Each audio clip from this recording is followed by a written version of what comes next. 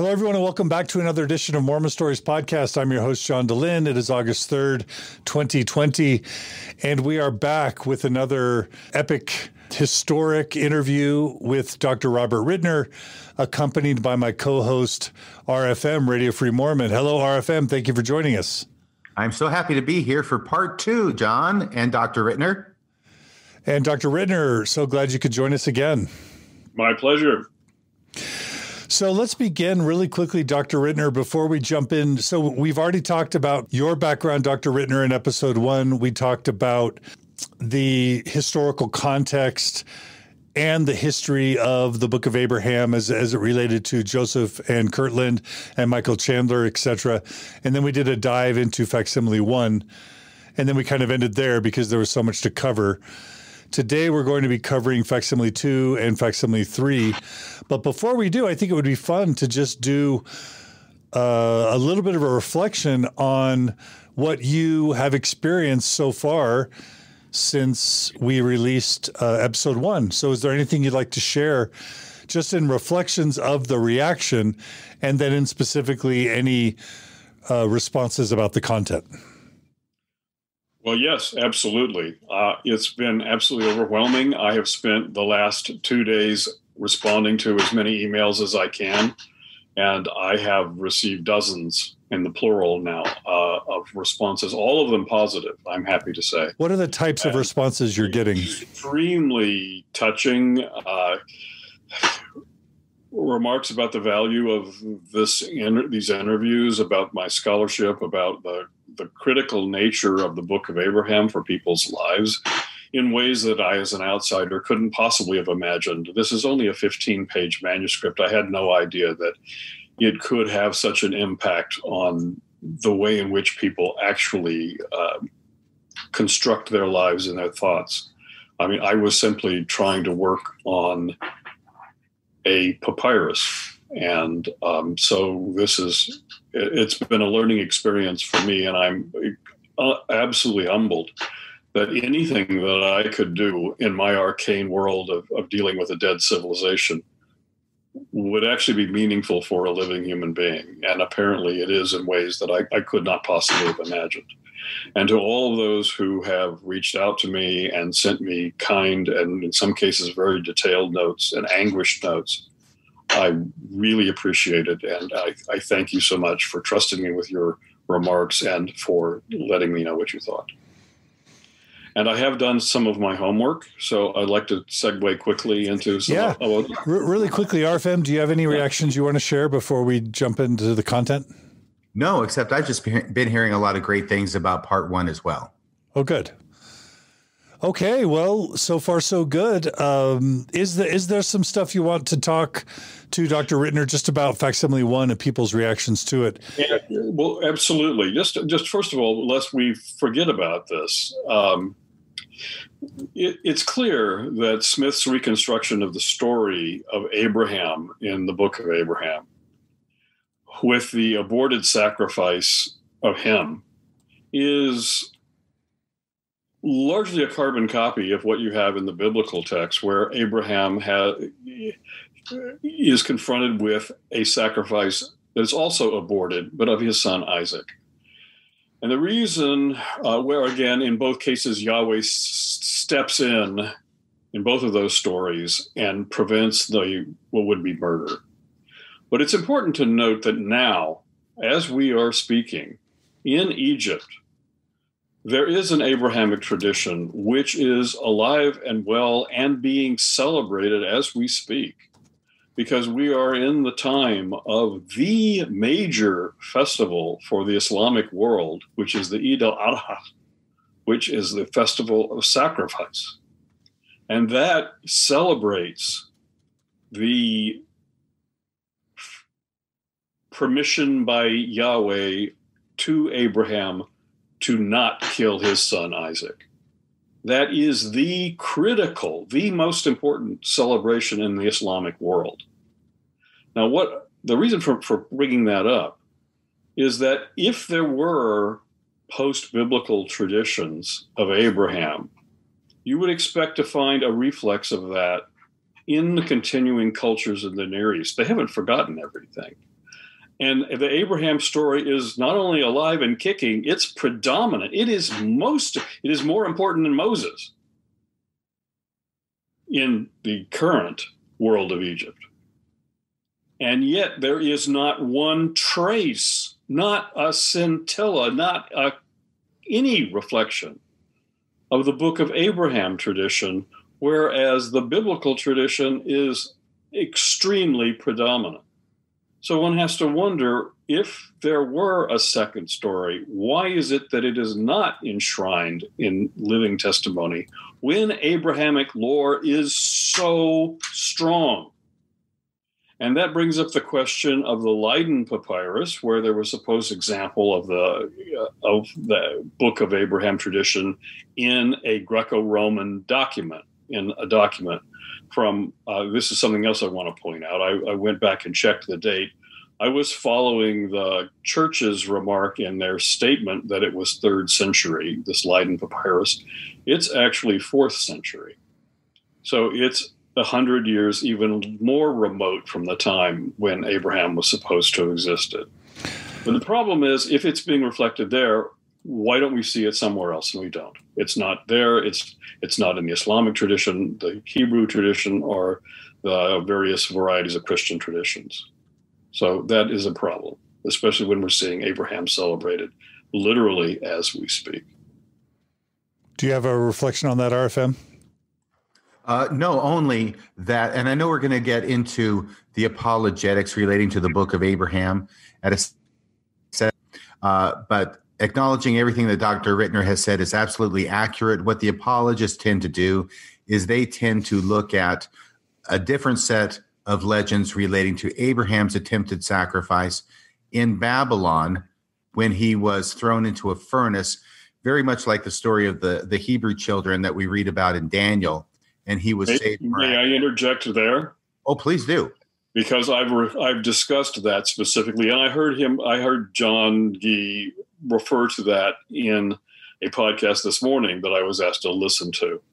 The problem with that is that that has nothing whatsoever to do with the patriarch Abraham, and John Gee knows that. That particular Coptic story to which he refers is set in Mesopotamia and it is not of the patriarch Abraham, but of Saint Abraham of the town of Arbela, which is the modern Iraqi city of Erbil. And the pharaoh in that, the Ford pharaoh is being used as a title, not a personal name. And he is not an Egyptian king. The word the, the Coptic word there, Paro, is the descendant of the earlier Egyptian word Pharaoh. And Paro, in that Coptic text, which I have read, is simply a designation that means king. It's the same term that you would use for the Roman emperor, the king of Persia, or anywhere else. So it's not distinct to Egypt. So the king who burns the this saint, this is taking place under the Sasanian Empire, all in Mesopotamia, with a Sasanian Persian ruler punishing a local Iranian saint who is Syriac, a Jacobite. This has nothing to do with Egypt whatsoever. It's merely a saint's tale from Iraq that has been copied over into the Egyptian tradition. But it's not antiquity, it's not the patriarch Abraham. And it has nothing to do with that, except that the saint happens to have the same name. So this evidence is irrelevant. And it was published accurately that the king referred to is Shapur II of Persia. We know precisely who this is. And the text specifically says that his territory of control is Mesopotamia. It couldn't be more specific presenting this as John Gee did in a Festschrift is a dishonor to the person to whom it was presented. And it is a complete, absolutely a complete distortion of facts that have been known since, since 1908 when it was properly published. And the 1908 publication is accurate, and what John Gee does with it is com- a complete fabrication. And he even admits that everyone else has recognized that it's some Persian king named Shapur. Well, it's not some Persian king. It's specifically Shapur II in Mesopotamia, no relation to Egypt. End of story.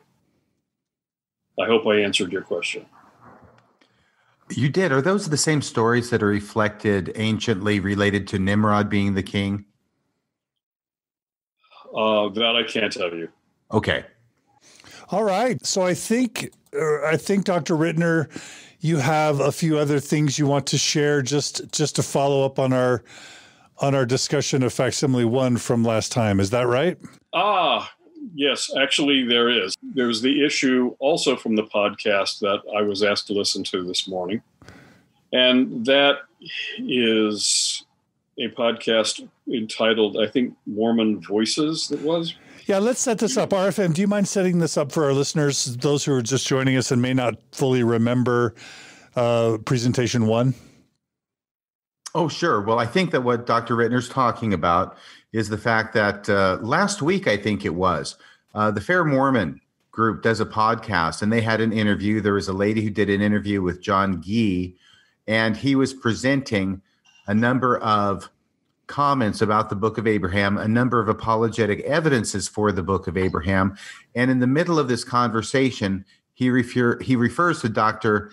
Robert Ritner in the context of talking about sacrifice, specifically human sacrifice, among the ancient Egyptians. It was uh, John Gee's position, and still remains his position, that actually the ancient Egyptians did perform human sacrifices. And so, therefore, the narrative in the book of Abraham is correct as to time and place, talking as it does about human sacrifices.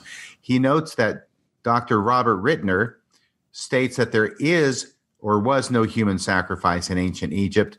But then John Gee says that Dr. Ritner has apparently forgotten what he wrote in his doctoral dissertation, in which Robert Ritner, Dr. Ritner, stated there that there was such a thing as human sacrifice in ancient Egypt.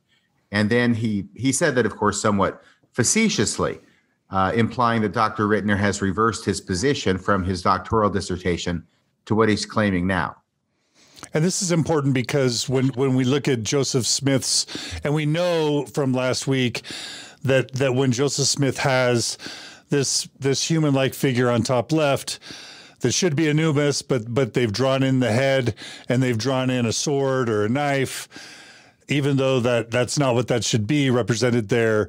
That that, that Joseph is imposing on this a human sacrifice, and so we've got Joseph Smith basically in a, in effect claiming that Egyptians were involved in human sacrifice, you know, two thousand years uh, before BCE, right? And so that's the main contention and then Robert Ritner would would then have you you Dr. Ritner would have opinions about whether in Egypt there were human sacrifices at all or there's any evidence of that. Is that right? Oh, absolutely, and uh, I, I, would be happy to respond. To okay, that. so let's let's hear it. Uh, how how else might Joseph have gotten this wrong? All right. Well, if if if we're going to deal with the issue of human sacrifice, the the problem with the reasoning being done by John uh, and Kerry Muhlestein with regard to this is you can't merely argue, does human sacrifice exist? Then, the, the, you have to also a- ask, does human sacrifice exist in the fashion that it's depicted on this picture? Is in fact this illustration an actual image of it? which we know is not the case because this is a doctored image. There was no knife. And for those who just didn't catch it last last week, it, it is more supposed to look like this image on the right. We've pretty much established that Joseph and his scribes would have drawn in a human, sacrificing another human when really it's Anubis. And, um, you know, uh, uh, as you described, how would you summarize this image on the right, Dr. Ritner, for those who didn't catch last time? instead of it being a sacrifice, what it should be according to the. Yeah, well, actually, Anubis is simply administering uh, embalming materials to for the resurrection, quite literally, of an of Osiris on the not altar, but a funerary bed. And so, even though we've already established that they got that wrong, we still have to have this tedious discussion about, you know, is is it even possible that sacrifices should exist? in in the time frame. So keep going. So now we've got facsimile well, one again. Because sacrifice is the critical part of the story right. in the in the actual text. So we can dismiss the picture as being human sacrifice, but the question is, since it's raised in the text, is that reasonable? Right. And there, the, you have two questions. First of all, would the Egyptians be practicing human sacrifice? A, and B, would they be sac- sacrificing a human in Ur of the Chaldees, uh, or specifically Elkenah, according to the designation in the text and the designation of the idolatrous priest who was supposedly holding the knife. RFM, would you be able to jump to that section real quick in Abraham and just read to us a verse or two, just so that we know where you're reading from in the text and kind of what it's saying? Do you have that handy? Yeah, actually, I do. It's Abraham chapter one, of course, which is right after facsimile one, which it's describing. And I will say something that just is interesting to me when I listen to the apologists, such as Kerry Muhlestein, speak. Sometimes they incorporate elements of Abrahamic lore into the book of Abraham. And they talk about Abraham here being sacrificed because he was preaching against the idols that his father worshiped. And there are some old accounts in the Abrahamic lore about him breaking apart these idols with a hammer. And then that's why he gets in trouble with the local authorities over in Mesopotamia and he's thrown into the um, the fire. But what I note here in the book of Abraham, it actually doesn't say that in our book of Abraham. It really doesn't say exactly why it is that Abraham is being sacrificed. It's implied that it's because he's raising his voice against the idolatrous gods. But what he starts saying in verse 7 is this Therefore, um, where he talks about that he raised up his voice. No, the fathers turned their hearts toward these idolatrous gods. He gives their names, the four names, right? And the five names, if you include Pharaoh, king of Egypt. And then verse seven, therefore they turned their hearts to the sacrifice of the heathen and offering up their children unto these dumb idols. Now, please notice that these are thank offerings in the book of Abraham. It even uses that word. So they are so into worshiping these idols that they're going to offer up their children unto them and hearken not unto my voice, but endeavored to take away my life by the hand of the priest of Elkenah. The priest of Elkenah was also the priest of Pharaoh.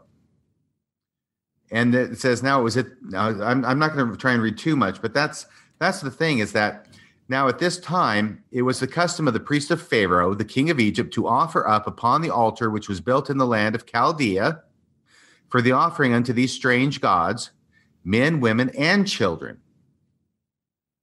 And so they laid their hands upon Abraham to sacrifice him as a thank offering. That's what it's called in verse 10. Even the thank offering of a child did the priest of Pharaoh offer upon the altar.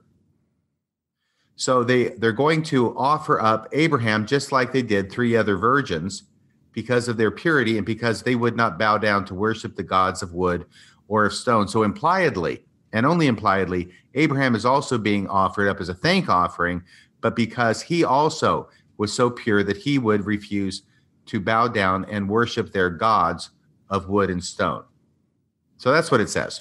Okay, now thank you, RFM. Now, now, Dr. Ritner, what's wrong with uh, you know with Joseph's writings in the Book of Abraham as it relates to what you know about Egyptian history? Well, let's go to my next slide, if you could. Okay. I'll share the screen. It is, in fact, the case uh, in my book. Here, you're seeing here not just my dissertation, but this is the published expanded version of it. Uh, for those who want to read my discussion, you can actually do that. Uh, you don't have to take my word for it uh, over this podcast. We actually make our Oriental Institute publications available free. I mean, you can buy the book if you like. I don't get uh, residuals, so it doesn't matter to me whether you buy it or not. Although it is and has been our best selling book, by the way, uh, in our press run. So this is now in its fifth printing. What's the title of the book for those who are listening? The Mechanics of Ancient Egyptian Magical Practice. Okay. Now, in this book, I am the one who points out the existence of human sacrifice. And I do that. I do that on page 162. If you go to the, uh, my, my point is by, uh, before I forget, is that anyone who wants to read this, you can do a free download of the entire book. You can get the whole book for free uh, digitally. Just go on the Oriental Institute website, look under our publications, look for my name. There it is. You click a button that says download, and the PDF is yours. So, uh, if you want to know anything more about the details of execration, or you want to f- read more deeply about the issues of the nuances of, of, of human sacrifice or sacrifice in general, it's all in there. So, let's go to page 172. Just 162, rather. So here we have, you can see, uh, for those of you who can, who can get the visuals, you can see my section titled Human Sacrifice. What I did was analyze as the core of my dissertation an archaeological site at a Nubian fortress near the Second Cataract. It's a site known now as Mirgissa. This was a new, new, new installation of by a, a fortress in Egyptian's Middle Kingdom. And this was built in a virgin site. There was no local town there. The Egyptians set up a fortress, and whenever you set up a fortress, you would perform execration magic. And what execration? It's a fancy word for cursing your enemies. And you make little dolls, which are the antecedents of voodoo dolls. And the Egyptians, you would then write the name of your enemies on these dolls and this is sponsored by the state. So the chancellery would actually go through, keep a, list of all the names of the foreign rulers.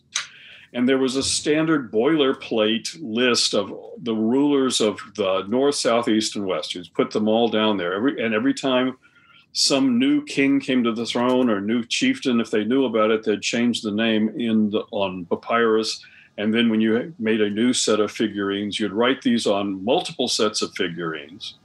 So any one figurine would have many, many names on it a section for Egyptians, a section for people from Palestine, people from Libya, people from Nubia, and even uh, criminal Egyptians. And then you smash them, you stick pins in them, you burn them, and ultimately you bury them.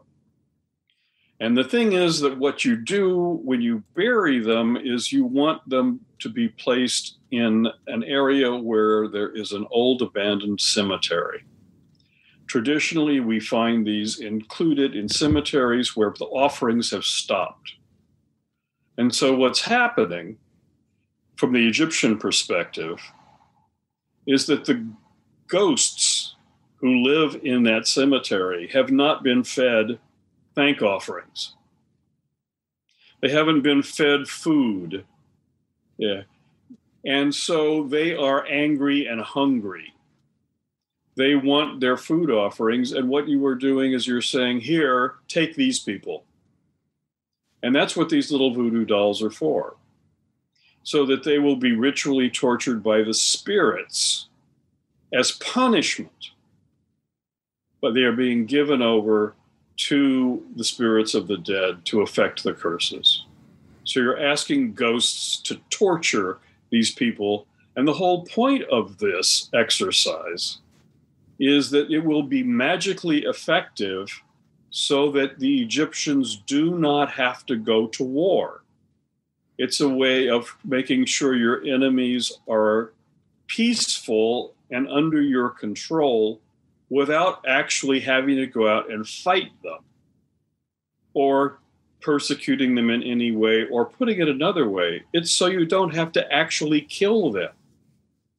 So instead of human sacrifice, the traditional practice, the normal practice, the practice that's celebrated in all the temples, is the killing not of human beings, but the killing of little clay figures, That is what is depicted on temple walls. That is what execration is all about.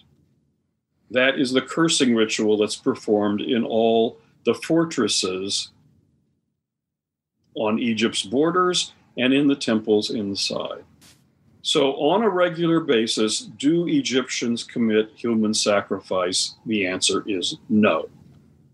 Do they sacrifice images of humans to avoid having to actually kill them on the altar? Yes. So there is some interaction with human sacrifice, and it's a way of getting out of doing it by smashing little clay dolls. Now, if you were on a fortress in Palestine, your fortresses are never going to be in a barren place where there are no surrounding towns because somewhere very close there will be a Canaanite town. Always. If you need to find a graveyard, you can find one. It's not a problem. If you are in Mirgissa, there is desert stretching away for hundreds and hundreds of miles where there are no villages and no towns at all. And so, and there was no town there when the Egyptians built their fortress. So, can we go to my next slide?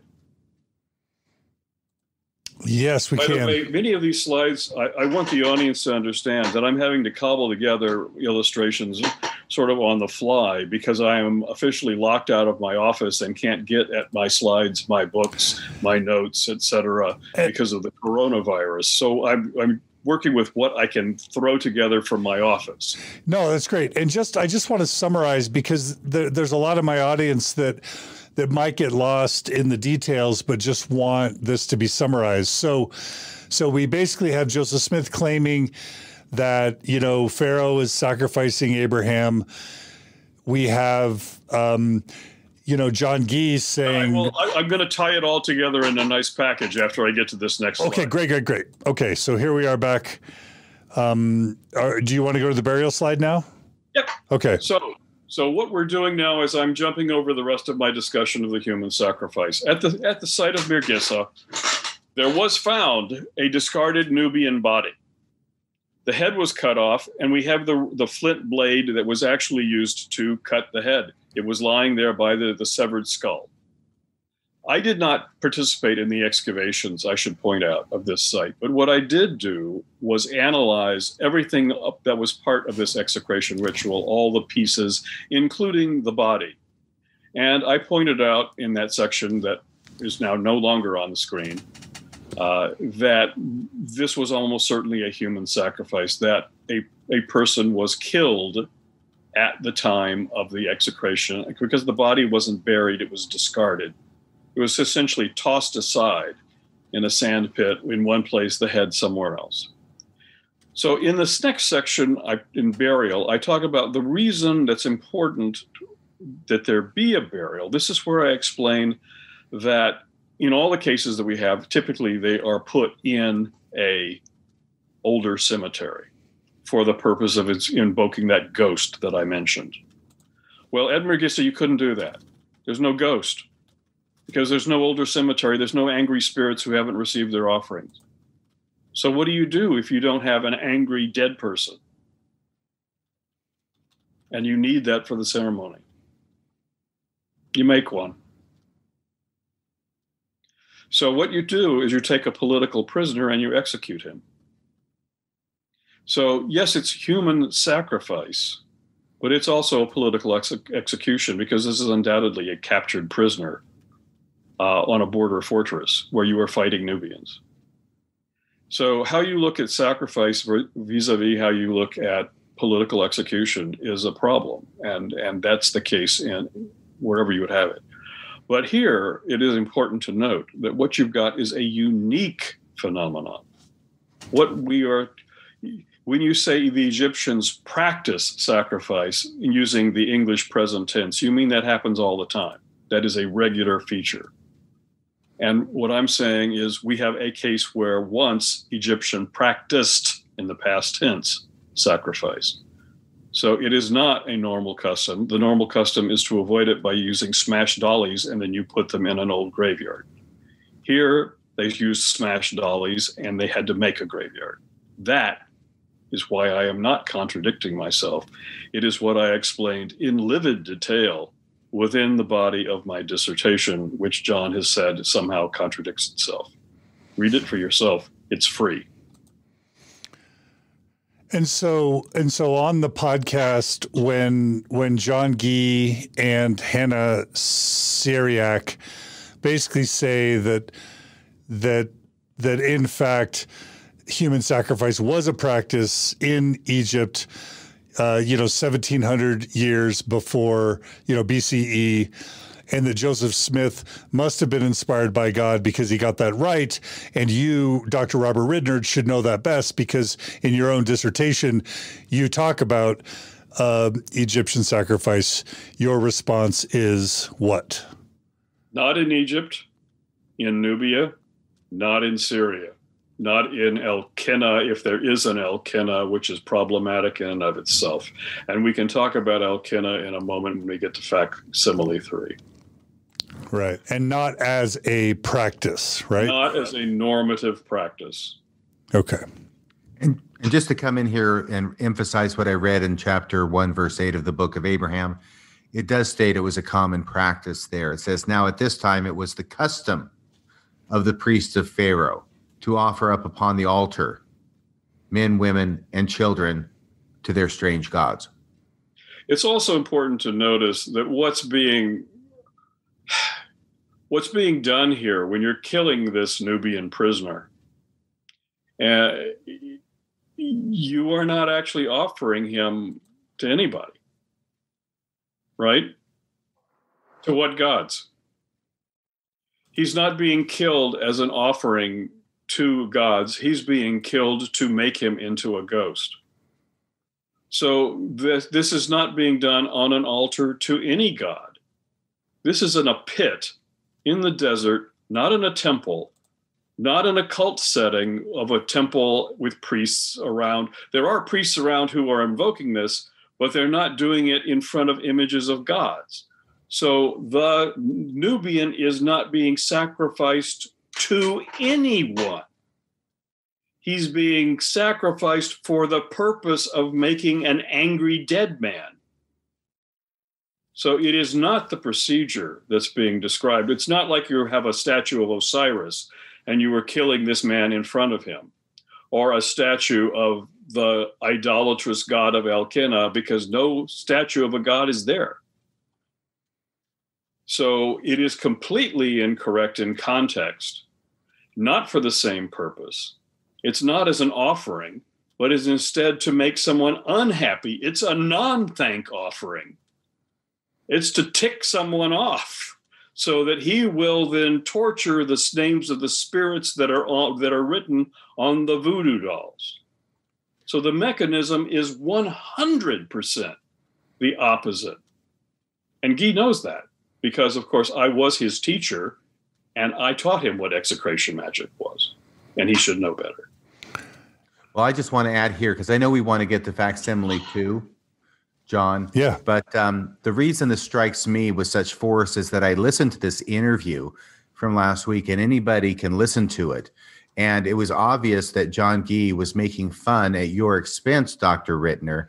He even giggles about it along with the interviewer about how ridiculous you are that you say that the, the Egyptians did practice did practice human sacrifice in your dissertation but now you're saying the opposite with the suggestion that the only reason you're saying the opposite now is because you're just trying to tear down the book of Abraham, no matter what you have to do to do it. Well, what I've had to say about sacrifice has nothing to do with the book of Abraham. Right. I, we can we can talk about at some point how I was brought into the book of Abraham situation, but that's another that's another question. We will. And I just want to underscore one other thing here, John, and I apologize. No, don't apologize. I love it. That's why you're here, buddy. Okay. Well, Kerry Muhlestein and John Gee, but especially Kerry Muhlestein's writings, he has gone to great length to say publicly and in writing in the Ensign and also in videotapes that are available on the internet in support of the Book of Abraham that the description of human sacrifice in the Book of Abraham is exactly the way all Egyptologists, or at least the majority of Egyptologists, his colleagues, understand the way the Egyptians used to practice human sacrifice. He says 20 years ago when he got involved in this, no, uh, it was different. People didn't understand about human sacrifice then, but that Kerry Muhlestein has almost single handedly led the Light Brigade into changing the opinion of all Egyptologists to revolutionize the idea, and that now all Egyptologists understand that the way the book of Abraham describes human sacrifice in Egypt is exactly the way it was practiced among the ancient Egyptians. Is that statement correct, Dr. Ritner? Well, I'll try to be as concise as I can be on on this. Um, there, Kerry wrote his dissertation on this very topic, and he was very careful to describe these as political executions rather than human sacrifices. So he walked a careful line that, that passed muster with Egyptologists. He did not prove that there was human sacrifice. He, in fact, just pointed these out as being human, as, as being political execution. You have examples of a text, which John Gee also references in this podcast, of a stela of King Neferhotep of the Middle Kingdom, in which it is, which boundaries are being set up for a temple precinct, and it is said that anyone who trespasses any any uh, bureaucrat who or priest who trespasses into this estate and would attempt to take away some of its assets would be burnt. Now that is a statement of what would happen for committing a crime. If you invade the temple precinct and plunder its resources you will be burned it's a death penalty for committing a crime. This is not for failing to worship the gods or failing to respect what a deity or a ritual. It's if you commit a crime, there will be capital punishment. That is not sacrifice. And yet, this is the kind of example they want to choose. This is like saying if you kill someone and we hang you for it, it's a human sacrifice. If that's the way you want to under, understand it, fine any execution could be taken in a religious way and given a con- connotation. And we execute people now. Is that human sacrifice? For some, you would say yes. But it's a question of is this how the Egyptians are understanding it? And the answer is certainly not. They're putting to be they're putting to death for, for criminal purposes. There is also a recently excavated area in the delta, the northern part of Egypt, during the time of political turmoil, where a large number of bodies have turned up that are, again, probably the result of warfare. It's been argued to be a massacre, a, a slaughter of captives, but that's in warfare. Is that human sacrifice? I don't think so. During the course of war, people are killed. Yes, you can say that's to the benefit of a deity or the, or the country, but that is not what is typically understood as human sacrifice. It's military activity. So, all of the examples that they like to point to that are so called recent, recent ones, are in fact either criminal publish, punishment or military activity. It's not a question of human sacrifice on an altar. There's no altar that's been found at this site in the Delta. There's no altar that is found in Mirgissa. There is no altar found adjacent to the Neferhotep stela. I mean, so all of that is smoke and mirrors and confusion of terms and attempting to juggle anything in order to make it all make sense. But the bigger question is so what if the Egyptians practiced human sacrifice? Would the Egyptians have practiced human sacrifice in North Syria, where they didn't have any physical control? Would they have looked like that on that illustration, which we know is doctored and therefore cannot be an illustration of it? So it's not a question of finding one little thing that might work. You have to make all the pieces fit. And that is the continual problem with the apologists is they find one small aspect which if you squint your eyes and look you know slightly to the left you can say well it sort of looks like this. But then it doesn't fit the entire picture because you're asked to ignore all of that. And you can't ignore all of it. If it's if the story is true then all parts of it have to be true not just one aspect of one picture or or two lines in the text and fail to do is present a complete picture. If you don't show all your work and explain all the details then you cannot have a defense. And they never do that. And the reason is they don't have the facts. And no amount of no amount of apologetics until the end of the universe will produce facts that never were and don't exist. Can i ask you just a yes or no question doctor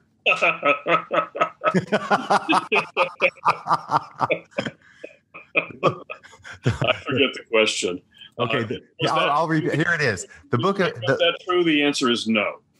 Okay, because I was going to say the book of Abraham says that it was the custom among the Egyptians to sacrifice people for refusing to worship their gods. There is no evidence of that ever in any in any context. On the on the contrary, the Egyptians don't care what gods you worship, and they adopt every single deity, including Yahweh the most popular deity in the Greek in the, the, Greek period Egyptian magical papyri is Yao, which is just a different writing of Yahweh.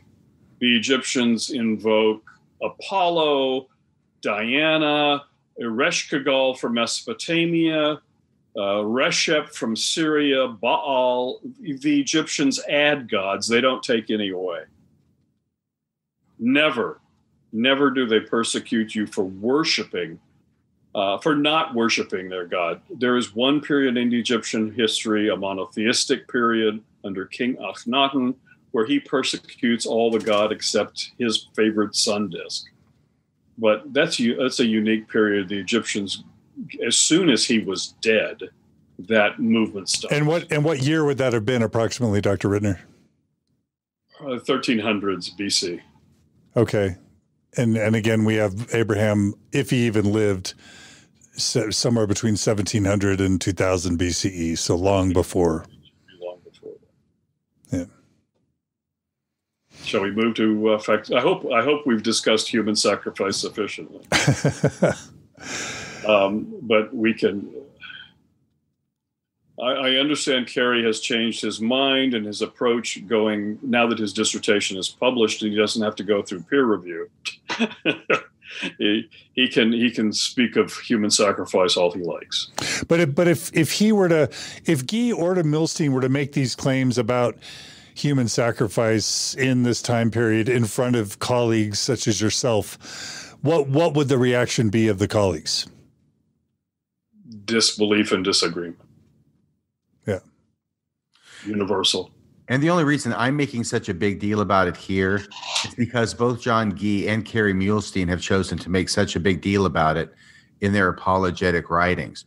Because when you look at it from the one side, if the ancient Egyptians did practice human sacrifice, which I understand they did not, Dr. Ritner, contrary Gee and Muhlestein, but if they had, it's not a huge support for the book of Abraham. I mean, a lot of different cultures practice human sacrifice. The problem is, is that because the book of Abraham specifically says they did practice human sacrifice and that Abraham was on the receiving end of one of those human sacrifice attempts, that if the ancient Egyptians did not practice human sacrifice, then it becomes a huge obstacle to the truth of the book of Abraham. That's why they have to go there, I think.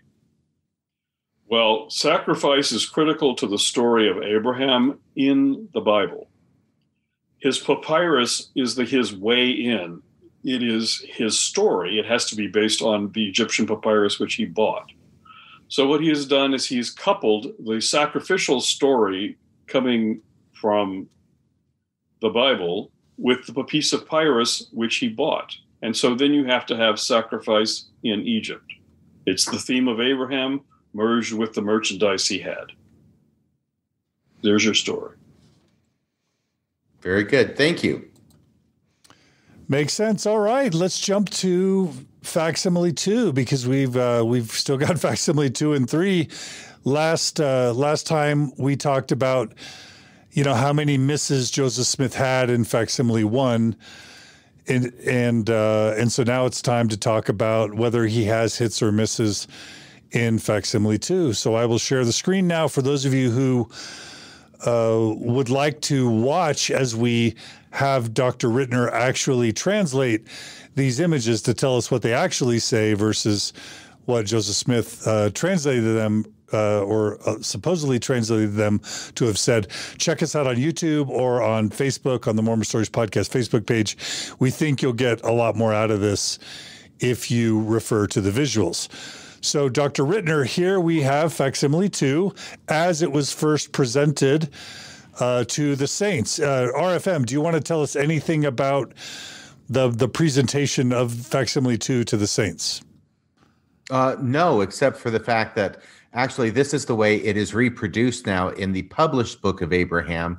And Dr. Ritner is going to tell us about how a lot of these pieces were actually missing from the papyrus that Joseph Smith had in his possession and how he filled it in by borrowing from other places. Perfect. All right. Uh, take it away, Dr. Ritner. Well, a couple of th- general things to notice about this, first of all. And that is that the heading of this in facsimile 2 uh, that you that you haven't reproduced but the, the statement as published says that it is from the book of abraham now, the Book of Abraham is supposedly a papyrus. And John Gee and others have argued that this was a long roll that is missing, except this seems to be from it. And this, of course, also is missing. We don't have this as fighting piece of papyrus.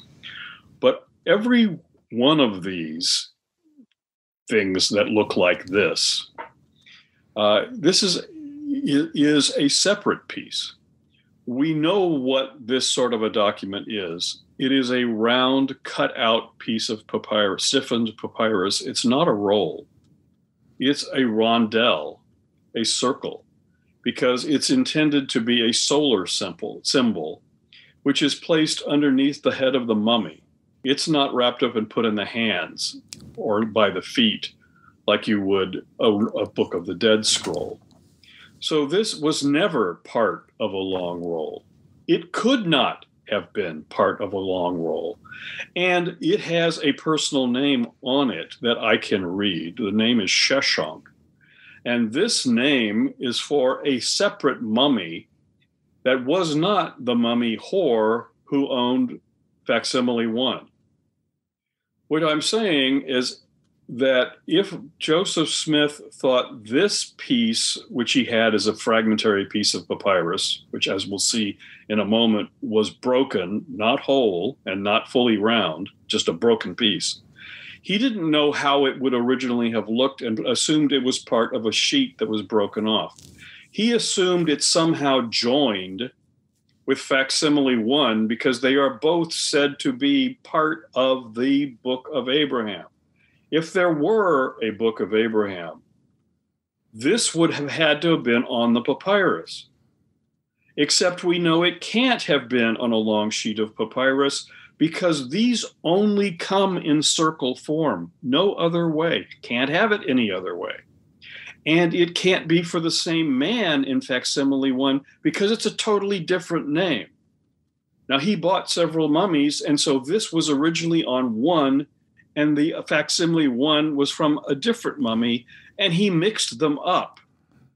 Over time, they got separated from the mummies. They're jumbled together, and he didn't know how many scraps he had. And he also didn't understand the concept of a long piece of papyrus because it was all broken up. So, any judgments or statements made about how long the papyrus is can be thrown away we can't rely on the long witnesses. What did they know in the 1800s about what a long piece of papyrus would be? They didn't know what papyrus was, basically, uh, and what a standard sheet. Anything that was larger than a normal piece of paper of the 1800 size would have been considered large for them. So they saying large doesn't, we can't say, oh, well, then it was 10 feet, 40 feet, whatever. And it can't even be real if this piece was supposed to be part of it, and we know it never could be because it was always a circle never part of a square or rectangle, and couldn't have been attached in any way to a document for a different person and a different mummy that he just happened to purchase together. And as we shall see as we discuss what's on this circle, there are bits and pieces of a third distinct unattached papyrus, the Book of the Dead of Tasheret Min, which this which he used to fill in the holes of this because he thought it was and he didn't know what it was.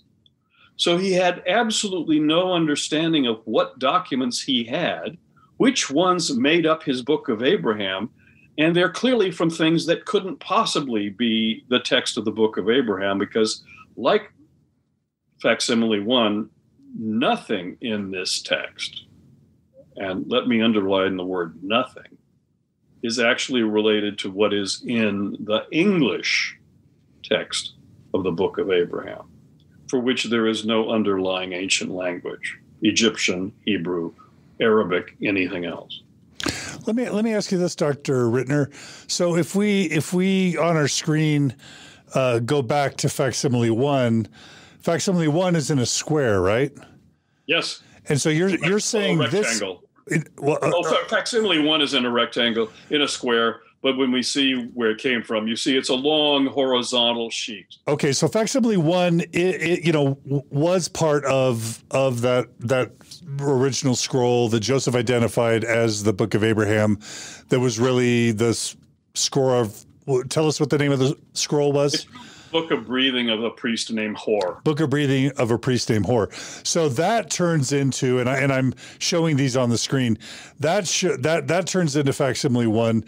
We've already established that Abraham probably never existed. If he did, uh, the the time frame of his existing versus the time frame of these scrolls is off by about 1600 years is that right Yep. And then, and then we've already agreed, which the church we've already established, and the church agrees that the name Abraham doesn't appear anywhere on on facsimile one, and what what is represented in fac- facsimile one literally has nothing to do with Abraham or anything in the contents of the book Abraham.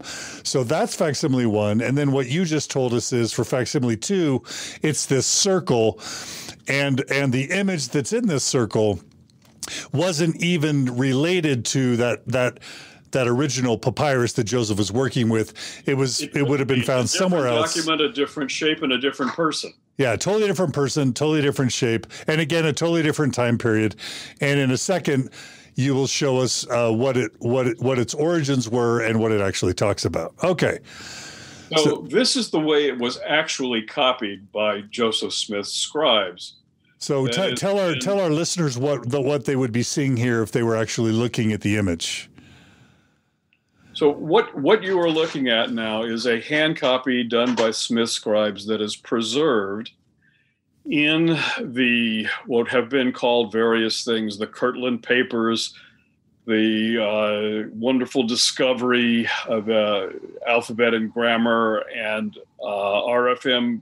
Remind me of what uh, Brian Hauglid is calling these now? I think these are called the Abraham Egyptian Papers. Well, these are these are manuscripts that always were retained by the church. The church didn't have all the papyri, but they they did keep these records. And let, let me just ask, why, if they had, if someone at some point had uh, a copy of, you know, if there was a a piece of papyrus or a piece of Egyptian paper that had the images, uh, you know, the the circle and the images that that turns up turns out to be produced as facsimile two. Why would some scribe have made a, a copy of it with handwriting? Do you have any idea, Dr. Ritner? Well, this is all the translation process. They they they were making hand copies so that they could try to read them. And what you see is they copy the sections that are extant, and the other areas, there are wide open blank spaces because it had simply broken off. These papyri were not preserved intact when Smith was working on them. Now, whether some of that was broken off at the time he bought them, or whether they were broken off as they were displayed repeatedly for visitors. There are references to them being spread out on the floor. Uh, if you if you do that with fragile text over and over again, sections are going to break off. And so you make a handwritten copy, a drawing of, of what it is, so that you can work with it and not destroy the source precisely paper and and we just have to we haven't really talked about the history of this but the abraham, abraham, egyptian papers the church kept in its vault right rfm for many many many decades and didn't tell anyone they had them. And these only got produced when the tanners and others sort of forced the church's hand in the 65 66 timeframe. Is that right rfm well actually the tanners did have leaked to them a transcript of the abraham egyptian papers and then they had leaked to them an actual microfilm version of the Abraham Egyptian papers, which is what I think Dr. Ritner had to use in his 2014 response to the church essay. Because until the last couple of years now, as a result of the efforts of Brian Hauglid and the Joseph Smith Papers Project, only in the last three or four years, to my understanding, has the church finally allowed to be published the actual papers that were used by Joseph Smith and his scribes to translate the book of Abraham, i.e., the Abraham Egyptian papers. I was shocked to find out that as recently as six years ago, in 2014, they were not publicly available, and that Dr. Ritner had to go to eh, extraordinary lengths in order to find the Tanner's version of it so he could use it in responding to the church essay because the church would not allow him to have access to the originals or reproductions of the originals through the church. Is that right, Dr. Ritner? That is that is exactly correct. The Tanner book was the microfilm book was absolutely indispensable. Of course, unfortunately, the the printing of that was, let's just say, faint and not the best possible quality.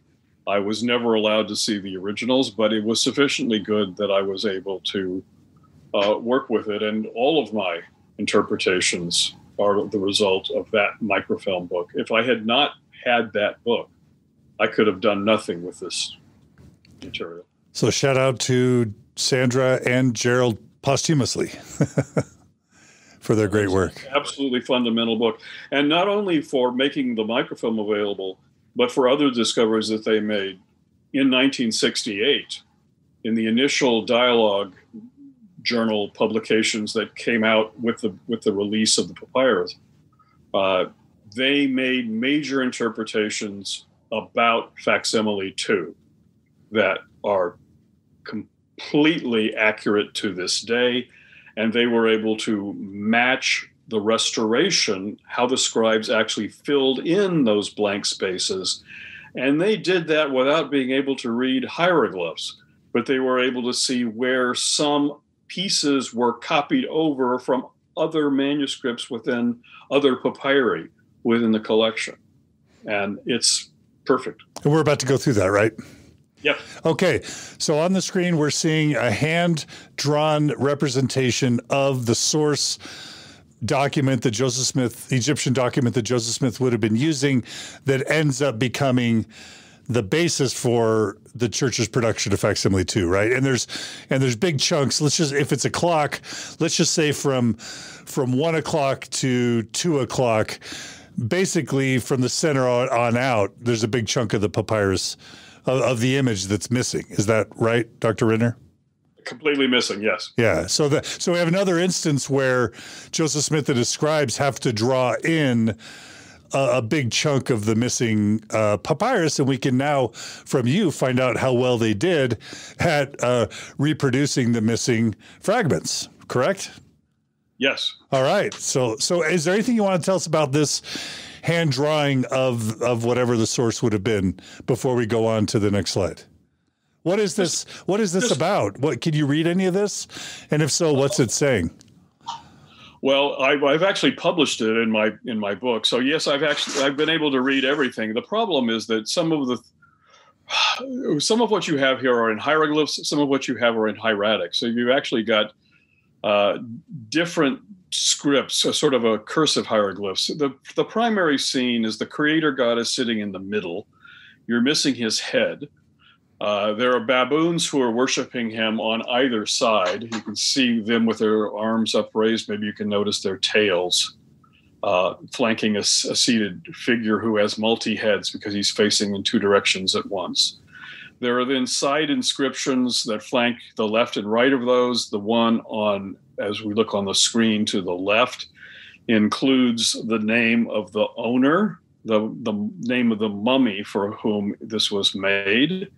This is basically a text in order to cause the spirit of the mummy to rise up with the rising sun and so to ascend into heaven.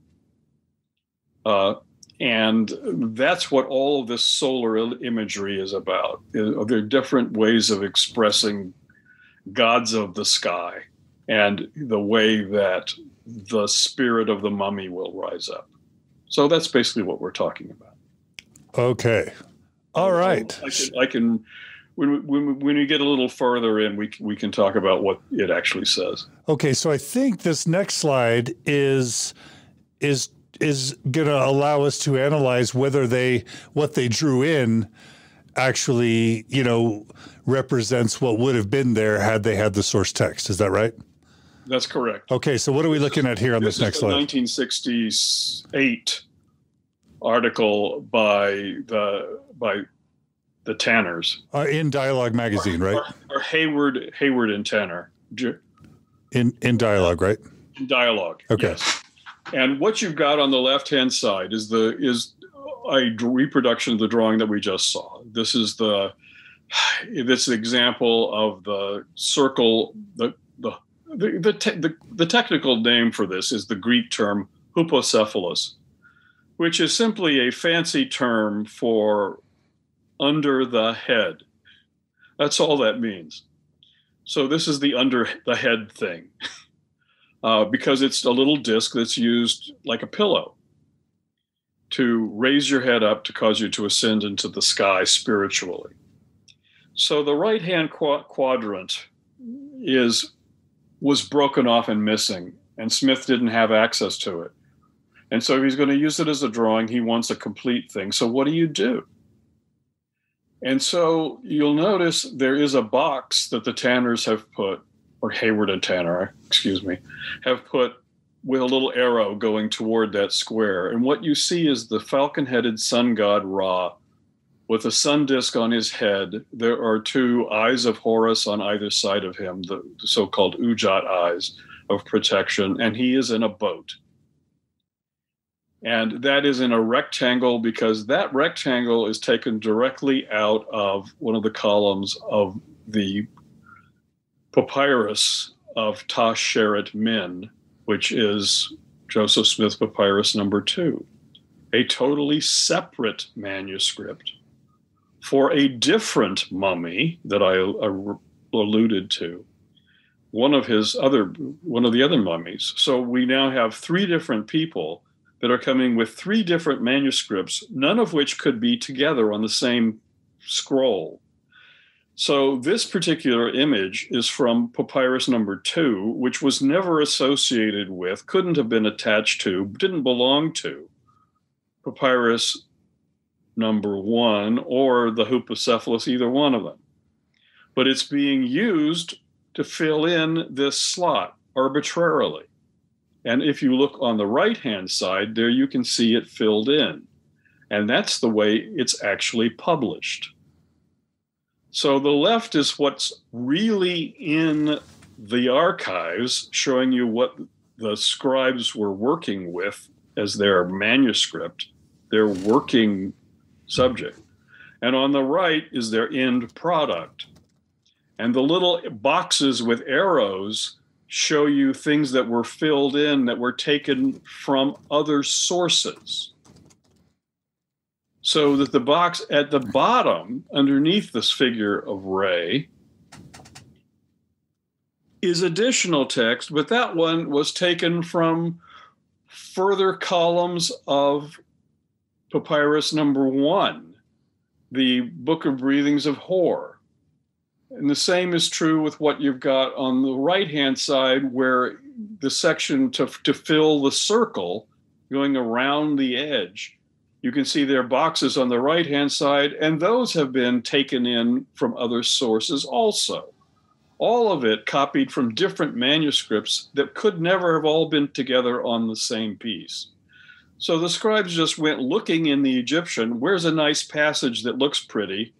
Okay, we'll copy that in here. So, what I'm telling you is that the image that we have for facsimile 2 is as doctored and artificial as the published version of facsimile 1. It has some parts that are real, and the rest, here, they instead of just making it up, which they did for facsimile 1, that was just, okay, what could this be? Let's put a human head here. Here, they're going, okay, well, let's just borrow some Egyptian from somewhere else, which shows you two things. One, they didn't think anyone else would ever be able to figure that out. And two, they didn't realize that was a problem. And three, actually, it means they couldn't read it. Nobody could read it. Which we know is true because no no one could really understand Egyptian, eh, you know, in New York at that time, right? Well, it's also particularly clear because Joseph Smith admits he can't read it. Because where he actually publishes it, we have annotations that we will get to where he has a very convenient out not to be read at this time. Right. Do you want to mention really quickly the writing that's kind of along the edges of this uh, of this hypocephalus? Yeah, it's uh, it's an inscription that runs around it's it around the circle. That's its own separate text. If you give me a second, just pull up my formal uh, so basically, so basically, listeners, I'll just describe this as, as Dr. Ritner's looking it up. In addition, in the facsimile to the various images uh, that are in different, let's just say, sections of the circle, you've got this text that's kind of written uh, around around the circle uh, along the edges. Um, and because that was missing, Joseph Smith and his scribes would have had to fill in the writing uh, so that it becomes one continuous string of writing all allow around, let's just say, the circumference or the outer edge of the circle.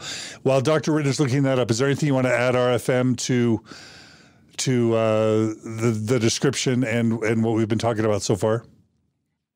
No, I think you've done a great job. Um, and I'm trying to be cognizant of the fact that some people will just be listening to this without actually looking at the diagrams.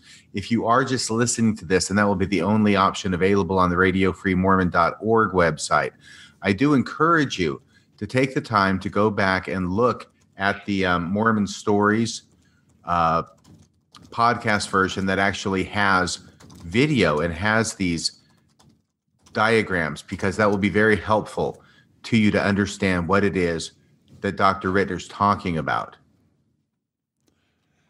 So the uh, the text says, "I am the Punisher in the mansion of the Benben and Heliopolis, greatly exalted, greatly effective, the copulating bull who has no equal, the great God in the mansion of the Benben and Heliopolis. Come to the Osiris Sheshonk, the justified son of Broken. He is that great God in the house of the noble."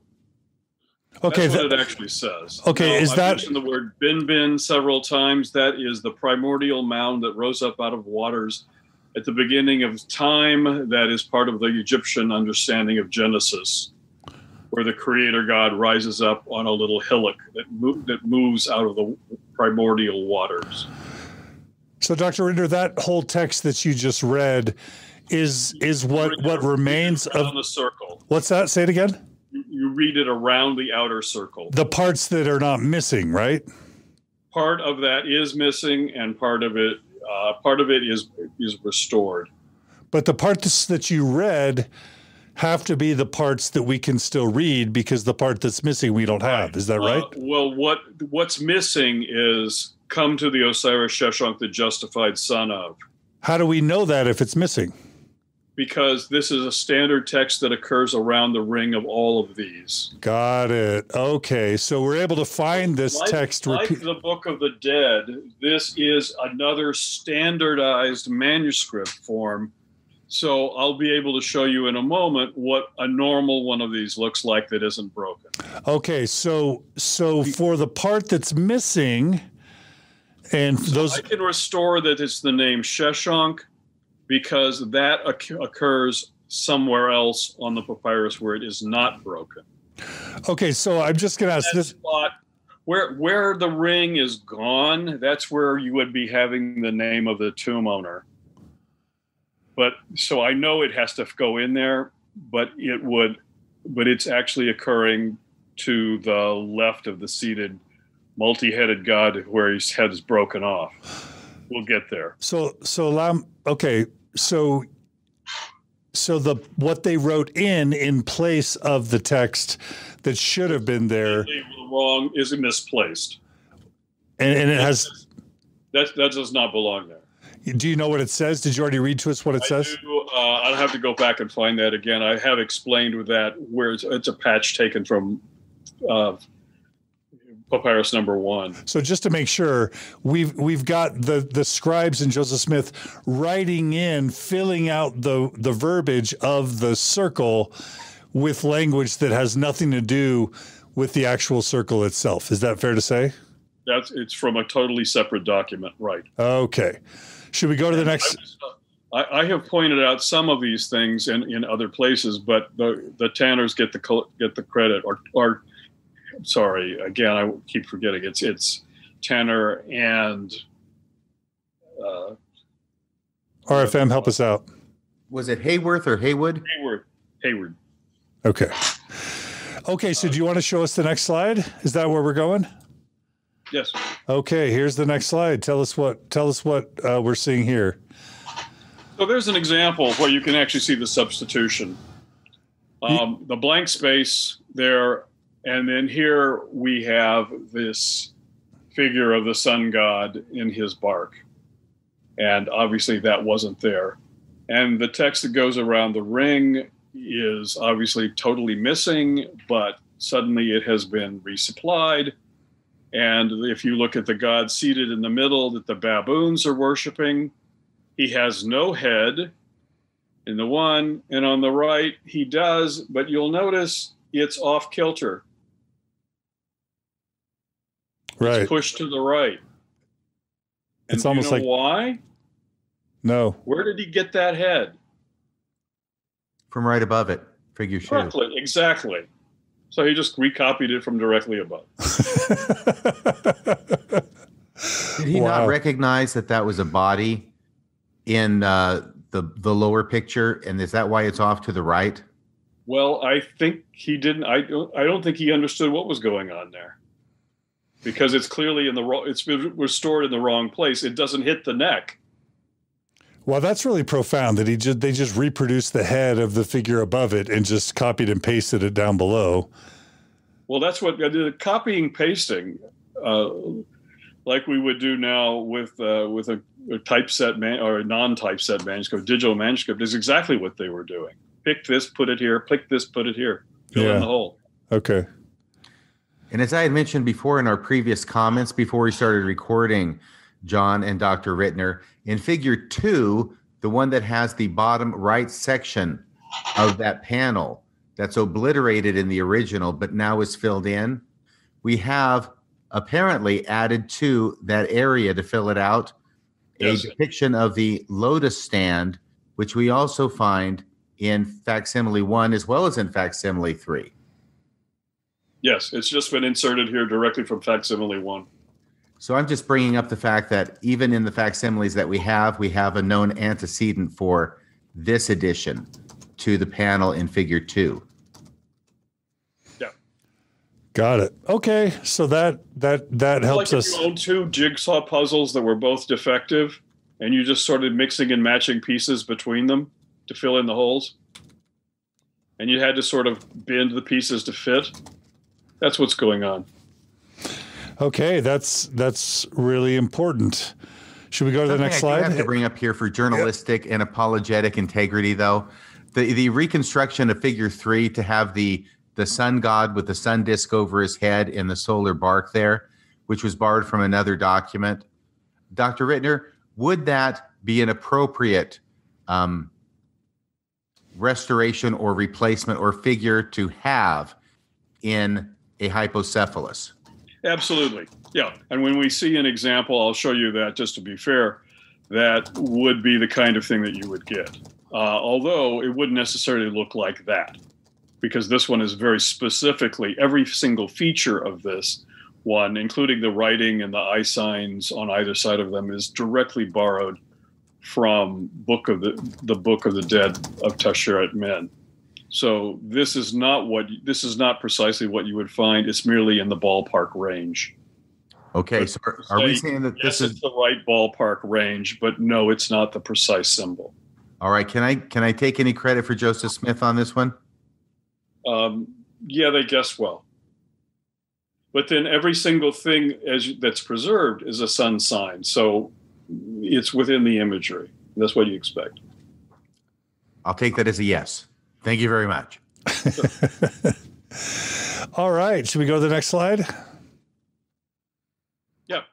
So here's an example of just precisely that. This is one of these standardized uh, that's from the British Museum from a woman by the name of Tasheret Khonsu. Her name means the daughter of Khonsu.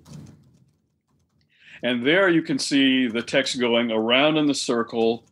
And if you see the blown up, the, the full images on the left, that's the way it should look. And you'll notice the central figure really ought to have four heads, not two, and they ought to sit on his neck. In the upper right corner, you should have two boats one of them is certainly the, the sun god, but he's not in a falcon form. It's actually there in a scarab form, a beetle. And you see him there. So it, it's and and there's not they're not so standardized. You you you might have had something that looked like what the scribes filled in, except we know where they got that because it's taken specifically from something uh, that's also in the same corpus that Smith had. Now, immediately adjacent to these two boats, you can see the, the script that's going around the ring there. That's precisely the point where it says for Tasheret Khonsu, the woman who owned this, it says made by for the housewife Tasheret Khonsu, right there. So that is precisely where the name would be of the one that we were just looking at but that's, of course, where it's broken away. But if you look at the publication, that breaking away where the name of Sheshonq would be has all been filled in. So uh, that's what you got there.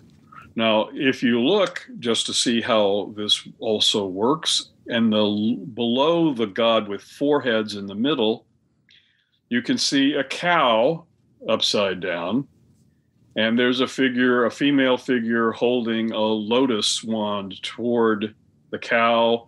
And there's a god seated with an erect penis, uh, the god Min, Ammon, uh, who's also shown upside down. And if we were to go back, you'll find those very same images are found on the example from of Sheshonq, the one that's in the Smith collection.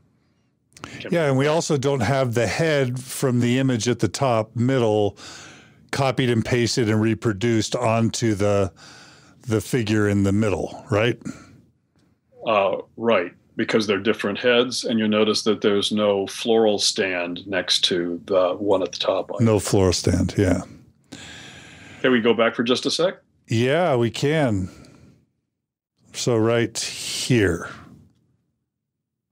Yeah, back back one more to okay. the to, to go, keep going. All right, bring that up. Uh, there you can see we have the, the if you look below the, the the seated central figure, there is a figure holding directly below is a figure holding the lotus and the upside down cow.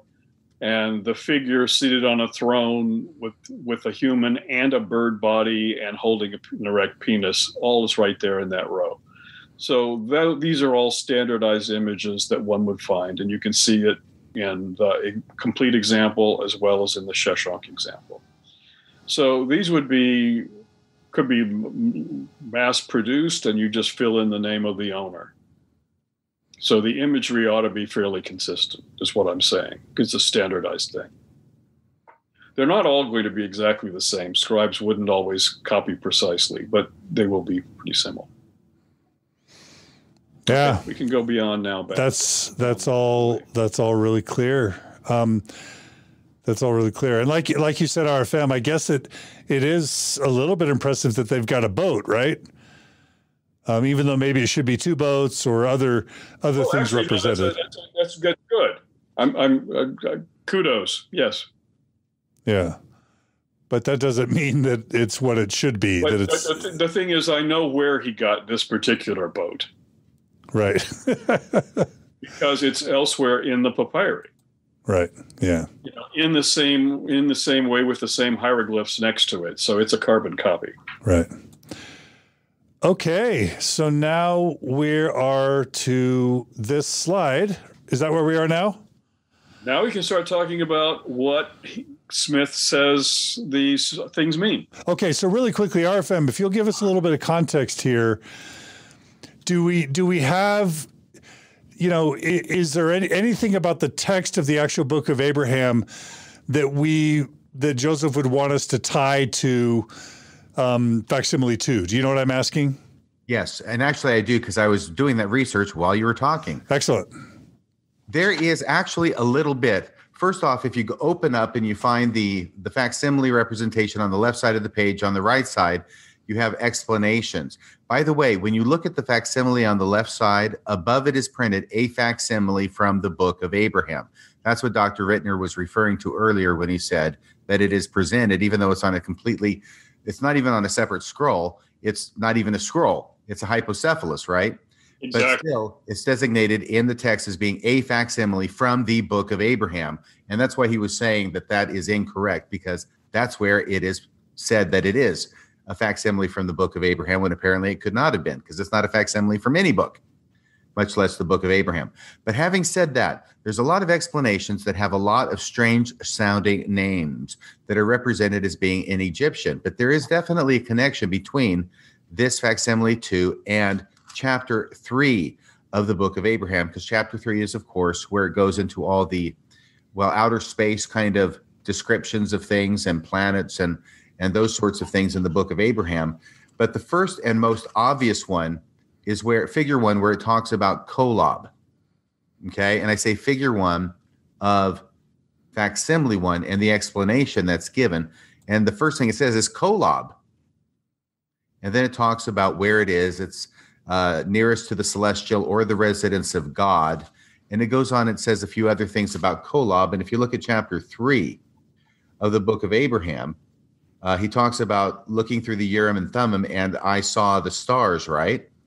And one of them was nearest unto the throne of God. Well, the throne of God is represented in facsimile 2 by the explanation. And then it goes on to say, The Lord said unto me, These are the governing ones. Governing ones are talked about in the explanations to facsimile 2. And specifically, and the name of the great one is Kolob. So there is that connection. And then it talks about, I have set the uh, this one to govern all those which belong to the same order as that upon which thou standest. Now, we're talking about orders of governing planets. That is referred to here in the in the um, explanations of facsimile two. And finally, this is another interesting one, and I'm sorry, but it has to do with still figure one, where it says one day in Kolob is equal to a thousand years according to the measurement of this earth. You see that up there? Yeah. Well, it actually doesn't have the entire thing up there. It just has it in abbreviated form in this diagram, but that's what it says. It's much longer in the explanation. But that that hooks into Abraham chapter 3 and verse 4, the last part of it talking about Kolob and how Kolob is uh, after the manner of reckoning, it being 1,000 years according to the time appointed unto that which unto, unto that whereon thou standest, i.e., earth. This is the reckoning of the Lord's time according to the reckoning of Kolob. So at least in those those places, it is clear that there is a direct connection between the translation of facsimile 2 and the text that is provided, at least at the very beginning of chapter 3 of the book of Abraham, which largely seems to deal with the same sort of thing, which is planets and governing planets and this central planet near which God resides, Kolob. I'm done. Okay. Okay, perfect. So what you've helped us establish, RFM, is that Joseph Smith certainly gave us all the impression that whatever he wrote down in parts of what he wrote down in Abraham chapter three, he was he was pulling from what we would call facsimile two, which actually isn't a facsimile; it's a hypocephalus, right? Yes. And so we so we we know that he was looking at this, and and we know that he produced text in the Book of Abraham from this. Right, and I don't want to steal any of Dr. Ritner's thunder, but if you look at the very bottom of the explanations, I know there's a, a movement afoot, I believe, to try and say that this is a revelation instead of a translation.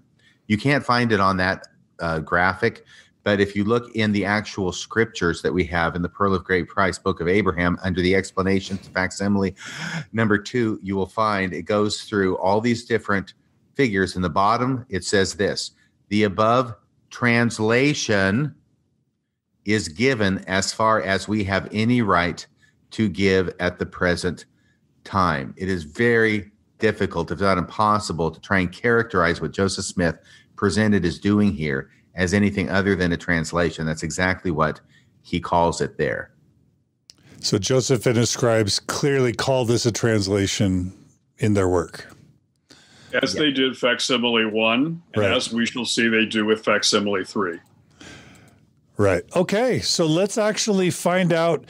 Let's try and juxtapose now what Joseph said we are looking at versus what an Egyptologist who actually can read Egyptian and translate Egyptian, Dr. Robert Ritner, says that we're looking at. So if we go to uh, the hypo, hypocephalus and we go to figure one, um, Joseph calls that little area um, Kolob, the residence of God. Is that in fact what you are reading there, Dr. Robert Ritner? Uh, no, it's not. And I, you forgive me, I'm going to pull up a plate that I can see a larger scale for my eyes uh, and not the screen. Because I, I want to look and see what the, the his his full description, which is a, a, a massive paragraph here. So, uh, no, there is no such Egyptian word as kolob. It does not refer to any planet. The Egyptians did understand planets, but there there's no one named it Kolob. Okay, so what it, what are we looking at if it's not Kolob, the residence of God?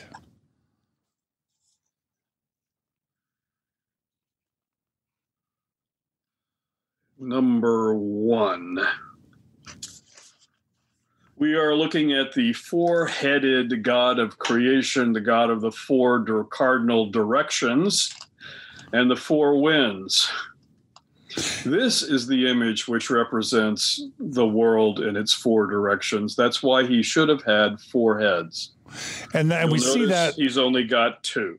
And we see that in the image that we looked at previously on the left. Now we see the God with the four heads. If Joseph had rewritten had had filled in correctly what was missing in the hypocephalus, we would have seen the foreheads there. But because they were missing, they drew in again by copy and pasting the head of the god above or the figure above down to the figure below.